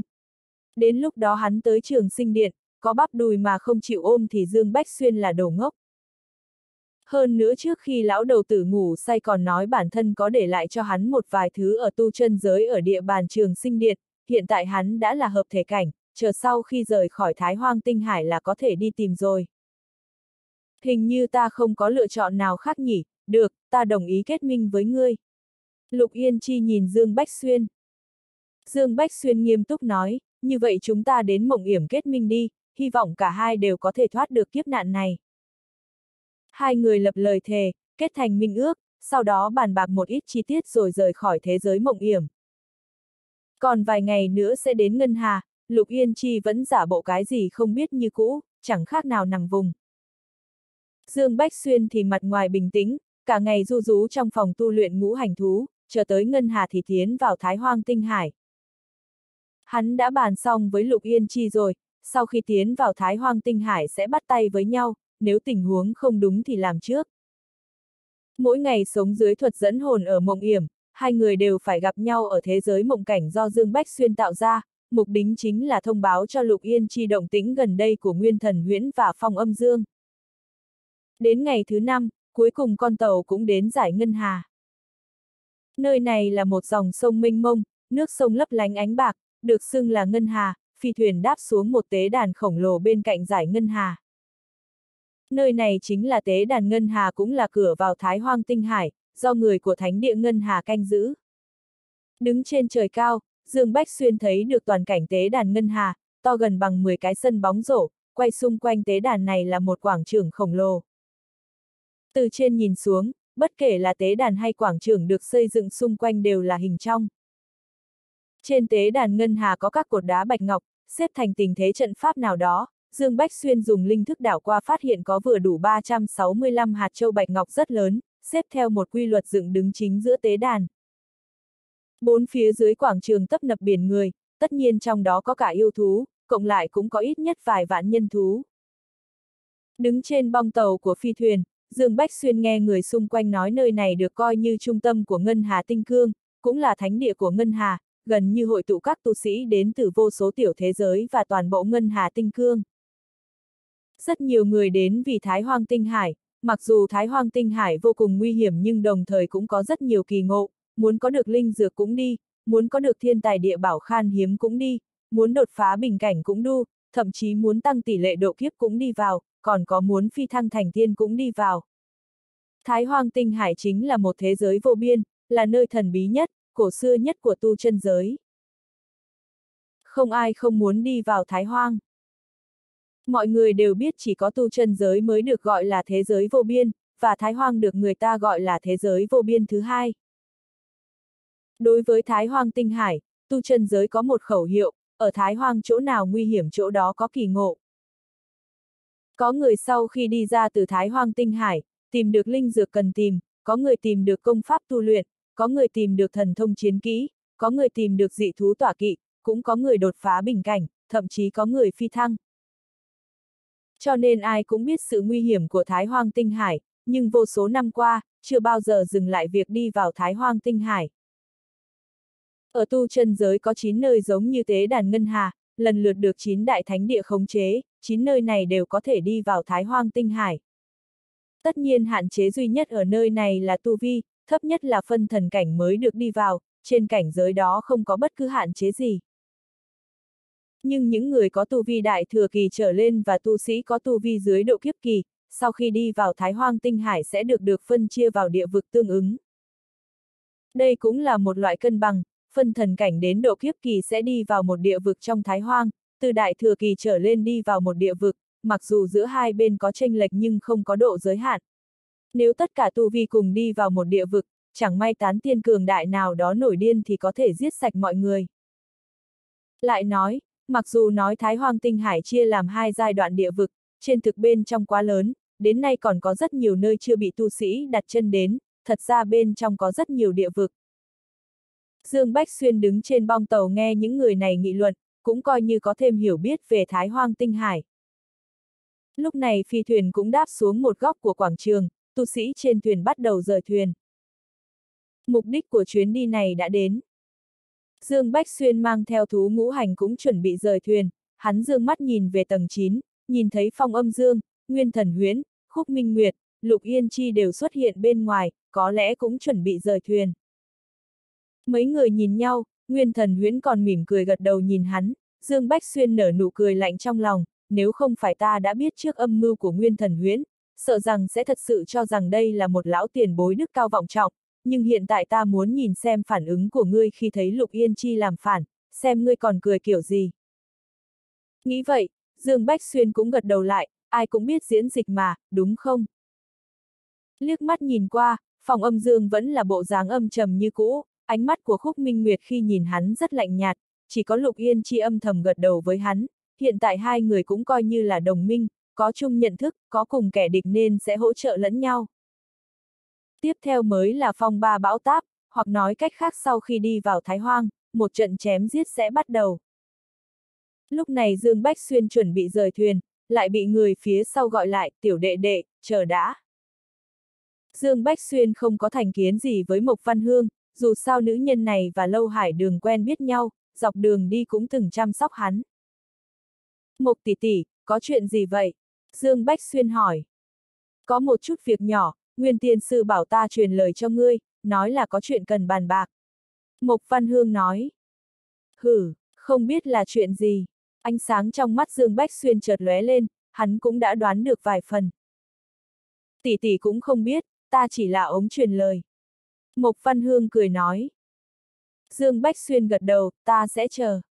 Mộc Văn Hương nhìn Dương Bách Xuyên, nói tiểu đệ đệ, sau khi đi vào Thái Hoang phải cẩn thận, sự nguy hiểm của Thái Hoang không chỉ có hoàn cảnh và các loại yêu thú, nguy hiểm nhất chính là người, không thể sơ ý. Dương Bách Xuyên nghe Mộc Văn Hương nói vậy, giật mình, không lẽ Mộc Văn Hương cũng nhìn ra được gì đó nên mới nhắc nhở mình. Nhưng dù sao đây cũng là ý tốt của nữ nhân này, Dương Bách Xuyên nói cảm ơn nàng ta, cảm ơn Mộc tỷ tỷ, tiểu đệ nhớ ý, sao vậy? Mộc tỷ tỷ không đi vào Thái Hoang sao? Hai, mệnh của tỷ tỷ thật mệt mà, lát nữa phải đi thành ngân hà bàn bạc nhiệm vụ thương hội, không đi được, nhưng ta nghe nói hai đệ tử của phong âm dương đã trở lại, người đã trêu chọc đến khúc minh nguyệt nên phải cẩn thận chút. Nói đến đây, âm thanh của Mộc Văn Hương nhở như ruồi muỗi. Dương Bách Xuyên không có biểu tình gì, lúc này hắn nhìn thấy đám người nguyên thần huyễn đã đi đến, nên nói sang chuyện khác, hỏi Mộc Văn Hương, sao ta không nhìn thấy thành trì ở nơi này, thành ngân hà ở đâu vậy? Mộc Văn Hương giơ tay chỉ vào một dãy núi cao ở nơi xa, nói, nơi đó, nhìn thấy không? Tòa sơn mạch lớn kia chính là tông môn của thánh địa Ngân Hà, thành Ngân Hà, một thành chỉ vô cùng to lớn. Nơi này nối thẳng tế đàn Ngân Hà với thành Ngân Hà và thánh địa Ngân Hà, đây đều là nơi chịu sự cai quản của thánh địa Ngân Hà, phi thuyền quá khổng lồ, hơn nữa thành Ngân Hà cũng cấm phi hành nên phi thuyền chỉ có thể dừng ở quảng trường tế đàn. Dương Bách Xuyên nhìn theo hướng Mộc Văn Hương chỉ, quả nhiên thấy được một ngọn núi khổng lồ ẩn giấu trong đám mây, mơ hồ nhìn thấy các kiến trúc dưới chân núi, trước tế đàn có một con đường làm từ bạch ngọc nối thẳng đến thành Ngân Hà, lúc trước hắn cũng chưa chú ý quan sát thấy. Đúng lúc này đám người nguyên thần huyễn đã đến. Ha ha ha, tiểu đạo hữu nguyên mẫu nghe Mộc Văn Hương nói người muốn đi rèn luyện trong thái hoang tinh hải, vừa lúc hai đồ nhi của ta cũng muốn đi vào trong thái hoang để rèn luyện. Lúc trước có sự hiểu lầm giữa người trẻ tuổi, ta đã dằn dậy lại ngoan đồ minh nguyệt, nàng cũng nhận thức được sai lầm của mình, lần này đi vào thái hoang, ý của nguyên mỗ là thái hoang vô cùng hung hiểm, không bằng tiểu đạo hữu kết bạn với hai ngoan đồ, các người cũng coi như không đánh không quen, đi vào thái hoang cũng có thể chăm sóc lẫn nhau, cho nên mới bảo Mộc Văn Hương nói ngươi chờ chút, không biết ý của tiểu đạo hữu thế nào. Lúc nói chuyện nguyên thần huyễn nở nụ cười như tắm mình trong gió xuân, hơn nữa bộ dáng tiên phong đạo cốt cùng với giọng điệu thành khẩn của lão ta làm bất cứ ai nghe xong cũng phải tin tưởng lão. Nếu không phải Dương Bách Xuyên đã biết được âm mưu của nguyên thần huyễn, sợ rằng còn phải thật lòng cảm ơn lão già này, đáng tiếc Dương Bách Xuyên đã biết ý định của lão ta. Đơn giản là muốn Dương Bách Xuyên, Khúc Minh Nguyệt, Lục Yên Chi ở bên nhau sau đó để hai người bọn họ tìm cơ hội xuống tay giết hắn. Dương Bách Xuyên nở nụ cười lạnh lẽo ở trong lòng, nhưng trên mặt vẫn trưng ra bộ mặt tươi tắn, vậy thì quá tốt rồi, ta đang lo chỉ có một mình đi vào Thái Hoang, có thể kết bạn đi cùng với hai vị tiên tử là vinh hạnh của ta, cảm ơn nguyên tiền bối. Dù sao Dương Bách Xuyên cũng không quá để tâm có đi cùng hay không, sau khi đi vào Thái Hoang chắc chắn hắn sẽ bị Khúc Minh Nguyệt theo dõi, còn không bằng đi cùng các nàng, Lục Yên Chi và hắn đã kết minh, chính hắn cũng có ý thức phòng bị, đến lúc đó Dương Bách Xuyên sẽ cho Khúc Minh Nguyệt biết sự lợi hại, sẽ làm cho Nguyên Thần Huyễn và Phong Âm Dương ăn trộm gà không được còn mất nắm thóc. Ha ha ha, rất tốt, rất tốt.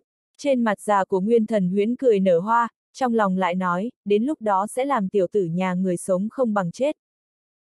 Tiếp theo lão ta nhìn Khúc Minh Nguyệt, cố ý sụ mặt, nói, Minh Nguyệt, còn không nhanh xin lỗi tiểu đạo hữu. Ngày hôm qua Khúc Minh Nguyệt và Lục Yên Chi nhận được lệnh của Nguyên Thần Huyễn, sau khi đi vào Thái Hoang lấy được từ trên người Dương Bách Xuyên, sau đó giết chết hắn. Dù sao chỉ có thể giết chết Dương Bách Xuyên ở trong Thái Hoang, hơn nữa nhất định phải chờ đến khi lấy được, sau đó sẽ mặc cho nàng ta xử trí sống chết của Dương Bách Xuyên. Cho nên mặc dù trong lòng Khúc Minh Nguyệt hận Dương Bách Xuyên đến nghiến răng nghiến lợi, nhưng mặt ngoài vẫn nở nụ cười dối trá, lúc trước đã đắc tội, hy vọng Dương Đạo Hữu khoan hồng độ lượng, Minh Nguyệt nguyện cùng tiến cùng lui với Dương Đạo Hữu ở trong Thái Hoang. Dương Bách Xuyên cười thầm trong lòng, con mẹ nó chỉ sợ rằng ngươi đang hận không thể giết chết ta tại chỗ ngay bây giờ đúng không? Còn có thể cùng tiến cùng lùi. Mặc dù trong lòng nghĩ vậy nhưng hắn cũng diễn theo, hai, mấy ngày trước là ta không đúng, tính tình của ta quá nóng nảy, cũng hy vọng khúc tiên tử không cần để trong lòng, sau khi đi vào Thái Hoang, ta còn phải dựa vào ngươi nhiều. Không dám, không dám khúc minh nguyệt cố dặn ra một nụ cười. Bên Nguyên Thần Huyễn và Khúc Minh Nguyệt cho rằng Dương Bách Xuyên không biết gì cả, chỉ chờ bước vào Thái Hoang để giết chết hắn. Trong lòng Dương Bách Xuyên cũng nghĩ sau khi đi vào Thái Hoang hắn muốn nhìn xem hưu chết vào tay ai. Hắn thấy được vẻ mặt đã thực hiện được gian kế từ trong mắt Nguyên Thần Huyễn, Phòng Âm Dương và Khúc Minh Nguyệt. Hắn cũng nhìn thấy được sự chán ghét căm hận của Lục Yên Chi dành cho ba người kia. Hai bên đạt được thỏa thuận, lục tục rời thuyền, chờ sau khi rời thuyền, hai vai chính khác cũng lên sân khấu, chính là hai đồ đệ của Phong Âm Dương, giống như tin tức Dương Bách Xuyên có được từ chỗ Lục Yên Chi, hai người này là độ kiếp hậu kỳ. Sau khi nhìn thấy hai người này, Lục Yên Chi trộm liếc nhìn Dương Bách Xuyên, ánh mắt có chút lo lắng, Dương Bách Xuyên lại cho nàng ta một ánh mắt yên tâm. Đã gom đủ một sân diễn. Nguyên thần huyễn giới thiệu hai người này là đồ đệ của phong âm dương, muốn để hai người bọn họ gia nhập vào, nói rằng vì sự an toàn của mọi người, dù sao hai người này cũng là cao thủ độ kiếp hậu kỳ. Dương Bách Xuyên tỏ ra vui vẻ đồng ý, liên tục nói lần này may mà có khúc minh nguyệt, làm cho hai lão già nguyên thần huyễn và phong âm dương cười thành tiếng. Dương Bách Xuyên cũng cười, hai bên đang đua kỹ thuật diễn. Dương Bách Xuyên cũng không thấy lạ khi hai đồ đệ của phong âm dương gia nhập, nói đi nói lại, hai đồ đệ này của phong âm dương mới là chủ lực giết chết chính mình trong kế hoạch của phong âm dương và nguyên thần huyễn. Hiện tại nên đến đã đến, chỉ chờ vào thái hoang tinh hải giết người. Dương Bách Xuyên vô cùng mong đợi kết cục của chuyện này. Sau khi diễn xong, Nguyên Thần Huyễn bảo đám người Khúc Minh Nguyệt đi đến bia khảo nghiệm trên tế đàn, nơi đó sẽ có người của Thánh địa Ngân Hà kiểm tra tu vi, sau khi thông qua có thể đi vào Thái Hoang Tinh Hải. Dương Bách Xuyên cũng từng nghe Lâu Hải Đường nói về việc kiểm tra, đến hiện trường mới biết được không hề khó, chỉ có hai cái bia khảo nghiệm. Một cái kiểm tra phân thần cảnh đến độ kiếp kỳ, một cái kiểm tra tu vi trên đại thừa kỳ. Mục đích của hai khảo nghiệm này là sợ sẽ có tu sĩ trên đại thừa kỳ trà trộn vào trong địa vực dưới độ kiếp kỳ, tàn sát các tu sĩ dưới độ kiếp kỳ. Bởi vì nghe đồn trong lịch sử từng xảy ra loại chuyện này, vì báo thù, một tu sĩ cấp cao đã đi vào trong địa vực của tu sĩ cấp thấp, tàn sát mấy chục vạn người, làm cho rất nhiều thế lực tông môn bị thương nặng, cho nên mới xuất hiện bia khảo nghiệm. Rốt cuộc nếu tu sĩ đại thừa kỳ muốn tàn sát tu sĩ dưới độ kiếp dễ như trở bàn tay. Công hiệu chính của bia khảo nghiệm chính là phân biệt, ai cũng sẽ bị bia khảo nghiệm đo lường ra tu vi. Dương Bách Xuyên, Khúc Minh Nguyệt, Lục Yên Chi và hai đồ đệ của phòng âm Dương, Nghiêm Trị, nghiêm phạt cùng đi đến bia khảo nghiệm. Nguyên thần huyễn và phong âm dương đứng quan sát cách đó không xa, hai lão già muốn tận mắt nhìn thấy đám người Dương Bách Xuyên đi vào Thái Hoang Tinh Hải mới có thể yên tâm. Đám người Dương Bách Xuyên đi đến chỗ bia khảo nghiệm, quy củ xếp hàng theo những người khác, mặc dù rất nhiều người nhưng tốc độ rất nhanh. Nửa canh giờ sau đã đến bọn họ, hai huynh đệ nghiêm trị, nghiêm phạt đứng đằng trước.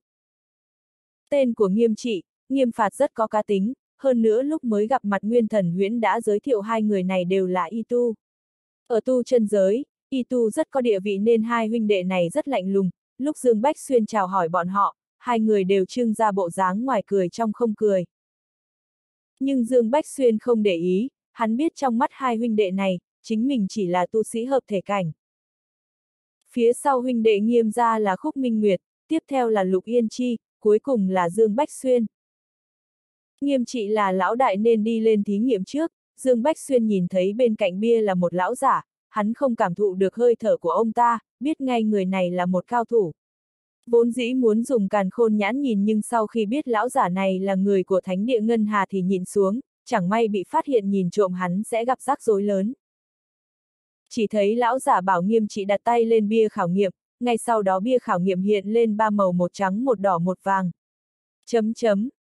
Sau đó lão giả mở miệng, tu sĩ nghiêm trị, tu vi độ kiếp kỳ, thân thể cấp 4, chân khí cấp 5, nguyên thần cấp 7, thỏa mãn điều kiện đi vào thái hoang tinh hải, người tiếp theo. Tiếp theo là nghiêm phạt. Lúc này Dương Bách Xuyên còn chưa nghe hiểu mấy cái như thân thể cấp 4, chân khí cấp 5, nguyên thần cấp 7 nên hỏi Lục Yên Chi. Không ngờ Lục Yên Chi cũng không rõ lắm, nàng ta nói nàng ta chưa đến tế đàn bao giờ nên không biết. Lúc này một lão giả hoa giáp phía sau nghe thấy, nói, đây là lần đầu tiên đạo hữu đến đây.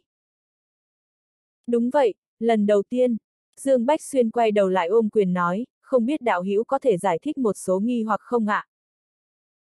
Lão giả hoa giáp rất dễ nói chuyện, ôm quyền đáp lại, tại hạ du mộc, đạo hữu có lễ. Ta tên Dương Bách Xuyên. Hai người coi như quen biết. Ngay sau đó lão giả tên Du Mộc giải thích, bia khảo nghiệm được đại năng trong thánh địa luyện chế, nghe đồn lúc luyện chế đã thiết lập ngưỡng cửa của ba loại lực lượng của người tu chân, đó là lực lượng thân thể, chân khí trong đan điền và nguyên thần. Nghe đồn nó được giả thiết dựa theo 12 cấp bậc tối cao, là cấp bậc cực hạn mà người tu chân có thể đạt đến, ba loại màu sắc của bia đá càng đậm càng chứng tỏ lực lượng tương ứng càng cường đại. Màu trắng đại biểu lực lượng thân thể, màu đỏ đại biểu lực lượng chân khí, màu vàng đại biểu lực lượng nguyên thần. Rất khó có người có thể đạt được ba loại lực lượng cùng cấp, hoặc chân khí cường đại, hoặc nguyên thần cường đại, hoặc thân thể cường đại, đa số lực lượng thân thể của người tu chân là nhỏ yếu. Người bình thường nhiều nhất là cấp 3-4, nếu có thể đạt đến cấp 5-6 coi như trung đẳng, đạt đến cấp 7-8 là cao đẳng, cấp 9 và 10 được coi là nhân trung long phượng. Còn cấp 11 và 12 là truyền thuyết thần thoại, tương truyền từ khi có bia khảo nghiệm có có vài người đạt đến cấp 11-12, mỗi người đều phi thăng thành tiên, để lại vô số truyền kỳ ở tu chân giới, dẫm chân một cái đủ để tu chân giới run rẩy. Du Mộc vừa nói đến đây, âm thanh của lão giả bảo vệ bia khảo nghiệm lại vang lên, tu sĩ nghiêm phạt, tu vi độ kiếp hậu kỳ, thỏa mãn điều kiện đi vào thái hoang, thân thể cấp 4, chân khí cấp 7, nguyên thần cấp 5, người tiếp theo. Hai huynh đệ nghiêm trị nghiêm phạt trái ngược nhau, ngoại trừ lực lượng thân thể giống nhau, chân khí và nguyên thần trái ngược hoàn toàn, một người nguyên thần cấp 7, một người chân khí cấp 7, đây là lực lượng mạnh nhất của bọn họ, kết quả thí nghiệm không tệ, hai huynh đệ có thể bổ sung cho nhau. Ngay sau đó là Khúc Minh Nguyệt. Chỉ nghe lão giả lớn tiếng nói, tu sĩ Khúc Minh Nguyệt, độ kiếp sơ kỳ, thỏa mãn điều kiện đi vào Thái Hoang, thân thể cấp 8, chân khí cấp 6, nguyên thấp cấp 8. Chỗ Khúc Minh Nguyệt thí nghiệm, một đám người xung quanh đều rất kinh ngạc, Khúc Minh Nguyệt có thiên tư hơn người, lực lượng tổng hợp không thể khinh thường, xung quanh vang lên âm thanh cảm thán. Trên mặt Khúc Minh Nguyệt hiện lên ý cười nhạt nhẽo, rất kiêu ngạo, cố ý vô tình nhìn về phía sư muội Lục Yên Chi, trong ánh mắt mang theo sự khiêu khích. Ngược lại Lục Yên Chi lại rất bình tĩnh, giống như không nhìn thấy ánh mắt của sư tỷ Khúc Minh Nguyệt. Dương Bách Xuyên cũng cảm thấy kinh ngạc trước kết quả thí nghiệm của Khúc Minh Nguyệt, không ngờ thân thể của nàng ta có thể đạt đến cấp 7, nguyên thần cấp 8, những nghĩ lại cũng thấy đây là điều hiển nhiên. Khúc Minh Nguyệt là độc tu, thân thể cường đại vì nàng ta dùng độc dược tu luyện độc công hàng năm, không có một bộ thân thể tốt sẽ không chịu nổi tu luyện độc công. Nguyên thần của Khúc Minh Nguyệt lên cấp 8 cũng vì tu luyện độc công, quanh năm suốt tháng dùng độc để rèn nguyên thần, hơn nữa bản thân nguyên thần của độc tu, y tu, luyện đan luyện khí sư thường cường đại hơn người bình thường rất nhiều. Tiếp theo đến Lục Yên Chi, so với Khúc Minh Nguyệt, Dương Bách Xuyên càng mong chờ kết quả thí nghiệm lực lượng của Lục Yên Chi hơn, bởi vì Lục Yên Chi là tiên thiên ách nạn độc thể, thân thể cường đại hơn người khác rất nhiều. Trong sự mong đợi, Lục Yên Chi đặt tay lên bia khảo nghiệm. Ngay sau đó bia khảo nghiệm hiện lên ba màu hồng trắng vàng lóa mắt, màu sắc rất đậm. Hiện tượng này làm cho lão giả khảo nghiệm mặt không biểu tình cũng mở to hai mắt, một đôi mắt vốn vẩn đục, lúc nhìn chằm chằm vào Lục Yên Chi lại đột nhiên sáng ngời. Sau đó âm thanh to lớn vang dội vang lên, tu sĩ Lục Yên Chi, tu vi hợp thể cảnh đại viên mãn, thỏa mãn điều kiện đi vào Thái Hoang Tinh Hải, thân thể cấp 10, chân khí cấp 10, nguyên thần cấp 10, sự kết hợp của ba lực lượng thành một chữ thập hoàn hảo, nhân trung long phượng. Tuyên bố xong, bốn phía ổ lên rất to, ba lực lượng tạo thành một chữ thập hoàn hảo, tuyệt đối là hạng người nhân trung long phượng trong suốt mấy ngàn năm qua. Lúc này cả hội trưởng đã nổ tung.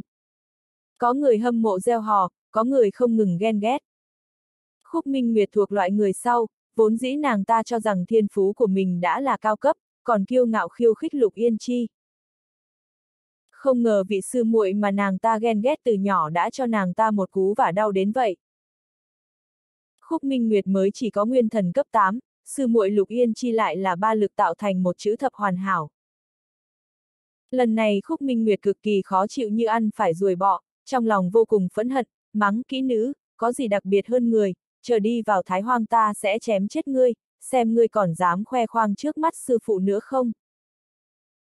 Trong lòng khúc minh nguyệt hoàn toàn vặn vẹo, mang theo ghen ghét vô cùng lớn, trong lòng tính toán giết chết lục yên chi ở trong thái hoang. Trái ngược với sự ghen ghét của khúc minh nguyệt, Dương Bách Xuyên lại vô cùng vui mừng, vui mừng vì có được một bằng hữu có tiềm lực vô hạn như lục yên chi. Tiềm năng thiên phú mà Lục Yên Chi bộc lộ ra nhất thời khiến mọi người xôn xao. Nhân Trung Long Phượng có ba lực lượng tạo thành một chữ thập hoàn hảo là đối tượng mọi người đều hâm mộ. Cũng là đối tượng mà thế lực khắp nơi muốn lôi kéo. Tiềm năng thiên phú bậc này tuyệt đối là cái bánh thơm ngon. Dương Bách Xuyên mỉm cười, lập tức đi đến chúc mừng Lục Yên Chi, Lục cô nương có thiên phú chắc tuyệt, một ngày nào đó nhất định sẽ trở thành rồng thành phượng. Xin chúc mừng. Lục Yên Chi vẫn bình tĩnh, không hề kiêu ngạo vì được tuyên bố kết quả ba lực lượng tạo thành một chữ thập hoàn hảo. Trước tiên nàng ta chắp tay với lão giả khảo nghiệm, sau đó gật đầu đáp lễ với Dương Bách Xuyên. Thật ra không có ai biết rằng từ khi Lục Yên Chi biết sự thật tàn khốc từ nhỏ mình đã bị sư phụ Nguyên Tiên sư coi là linh dược mà bồi dưỡng, nội tâm nàng ta đã có sự biến hóa lớn. Hiện tại nàng ta không có quá nhiều cảm xúc mãnh liệt về kết quả khảo nghiệm. Lục sư muội thật sự kinh diễm, chúc mừng lục sư muội. Lúc này lại, hai huynh đệ nghiêm trừng và nghiêm phạt đã đi tới chúc mừng lục yên chi. Khảo nghiệm ba lực lượng tạo thành một chữ thập hoàn hảo của lục yên chi cũng khiến hai huynh đệ cảm thấy chấn động, lập tức đi tới đúng như một câu nói gần quan được lộc. Lục yên chi bộc lộ thiên phú như vậy, chắc chắn thành tựu tương lai của nàng ta là vô hạn. Nghiêm trừng thầm nghĩ nếu có thể kết đạo lữ với Lục Yên Chi thì sẽ có trợ giúp lớn cho tu vi của gã, vì vậy tâm tư trở nên sống động. Nghiêm phạt cũng không chịu thua kém, sắp đến khen Lục Yên Chi. Tuy nhiên, Lục Yên Chi lại tỏ ra hờ hững lạnh nhạt khiến hai huynh đệ nhiệt tình uổng công. Khúc Minh Nguyệt ở bên cạnh thì ngược lại, sắc mặt nàng ta đã biến thành màu gan heo. Nàng ta nhìn dáng vẻ hai huynh đệ nghiêm trừng nghiêm phạt cũng bu lại lấy lòng sư muội Lục Yên Chi, trong lòng càng thêm giận dữ. Có điều Khúc Minh Nguyệt không dám nổi giận với hai huynh đệ nghiêm trừng nghiêm phạt. Nàng ta bèn quay sang cạnh khóe châm chọc Lục Yên Chi, đã kích Dương Bách Xuyên, một bài kiểm tra lực lượng mà thôi, có cao thế nào cũng chỉ là kiểm tra lực lượng. Cường giả chân chính phải xem thực lực, tu luyện mới là vương đạo. Sư muội đừng kiêu căng tự mãn, vẫn cần cố gắng tu luyện để sớm ngày đột phá đến độ kiếp. Câu này lọt vào tai người ngoài nghe kiểu gì cũng thấy nồng nặc mùi chua, chỉ thiếu điều nói với Lục Yên Chi rằng ngươi đừng đắc ý, Lục Yên Chi người được người ta tân bốc nhưng vẫn chỉ là tu vi cảnh giới hợp thể, chưa đạt đến độ kiếp kỳ. Sau khi nói xong, nàng ta nhìn Dương Bách Xuyên bằng ánh mắt chế giễu, Dương Đạo Hữu nói xem có đúng không? Cảnh giới không theo kịp thực lực trung quy không phải là chuyện tốt.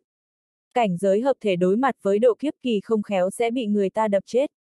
Cho nên cảnh giới thực lực vẫn rất quan trọng đúng không? Ha ha! À phải rồi, tiếp theo đến lượt Dương Đạo Hữu đấy. Thật ra ta rất muốn xem Dương Đạo Hữu khảo nghiệm thế nào. Nhất định là phi phàm lắm nhỉ, ta không thể chờ được nữa rồi.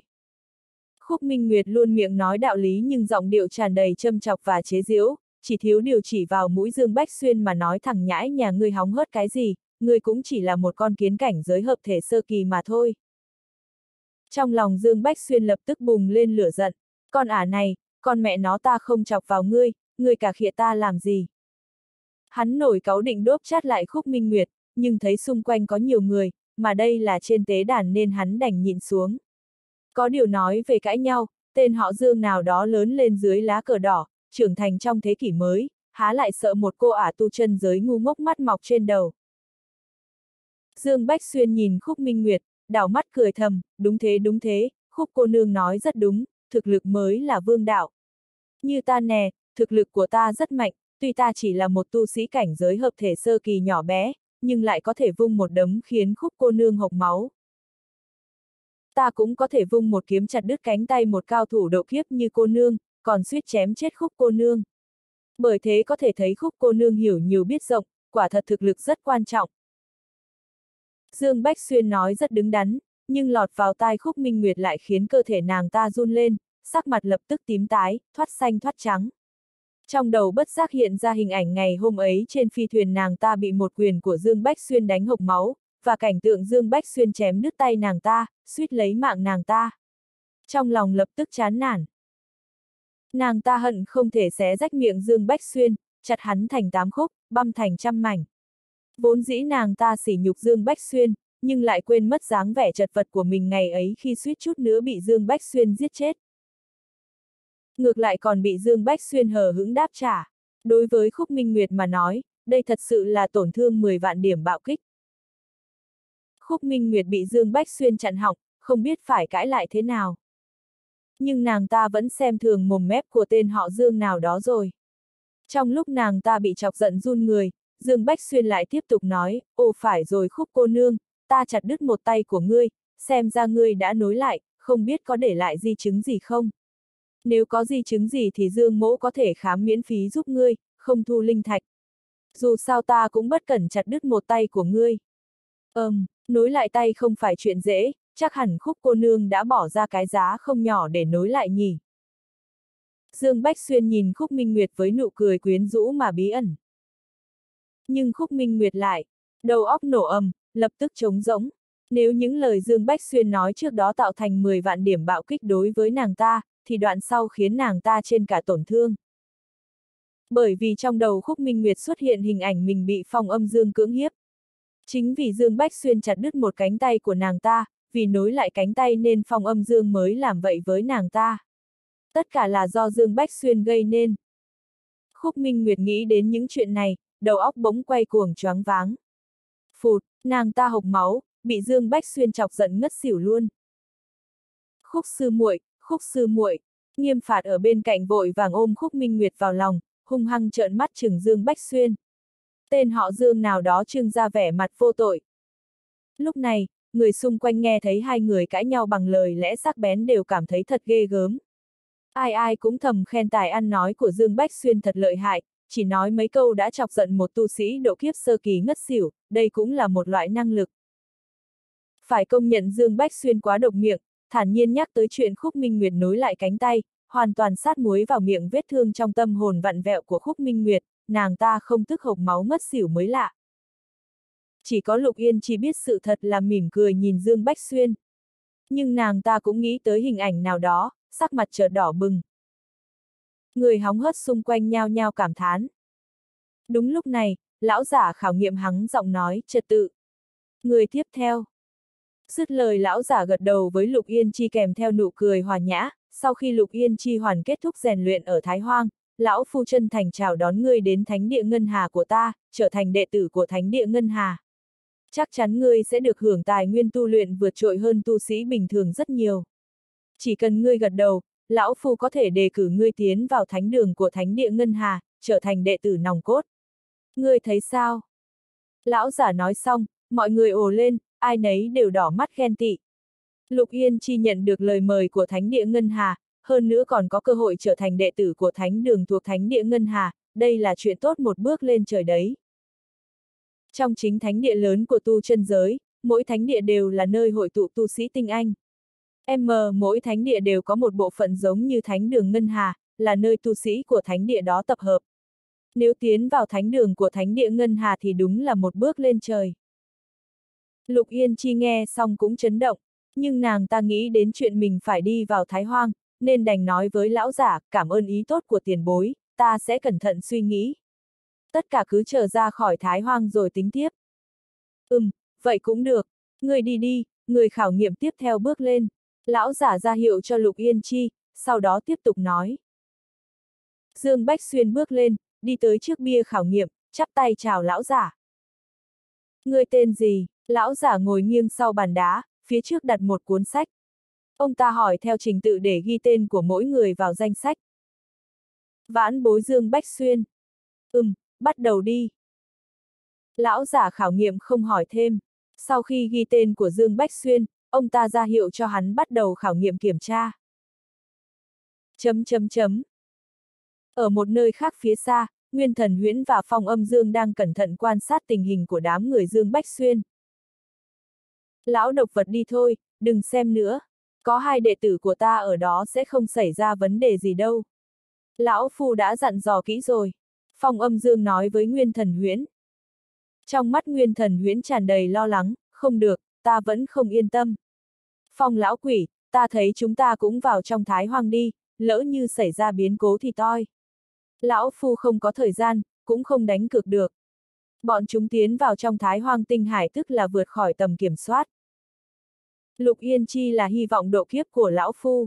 Lão Phu dày công bồi dưỡng nhiều năm như vậy, không thể lật xe vào thời điểm mấu chốt được. Ta cũng không ngờ tiểu đồ đệ Lục Yên Chi lại có tiềm lực long phượng ba lực lượng viên mãn, thiên phú tiềm lực như vậy ắt sẽ trở thành đối tượng được thế lực các nơi lôi kéo. Thánh địa Ngân Hà đã ngỏ lời, đến lúc bọn chúng tiến vào Thái Hoang thì càng có nhiều người của các thánh địa lôi kéo. Nhớ đâu nó gia nhập một thánh địa nào đó thì mọi tâm huyết của lão phu đổ xuống sông xuống biển hết. Không thể để cho Lục Yên Chi thoát khỏi tầm khống chế của ta. Phong lão quỷ, người đừng quên Dương Bách Xuyên cũng là người có thần ma y điển. Nếu hắn thể hiện y thuật siêu phàm trong thái hoang tinh hải, chưa biết chừng sẽ được người khác để mắt đấy. Đến lúc đó, cả hai chúng ta đều dã tràng xe cát. Vì vậy chúng ta cũng vào thái hoang đi. Audio điện tử võ tấn bền. Hết tập 93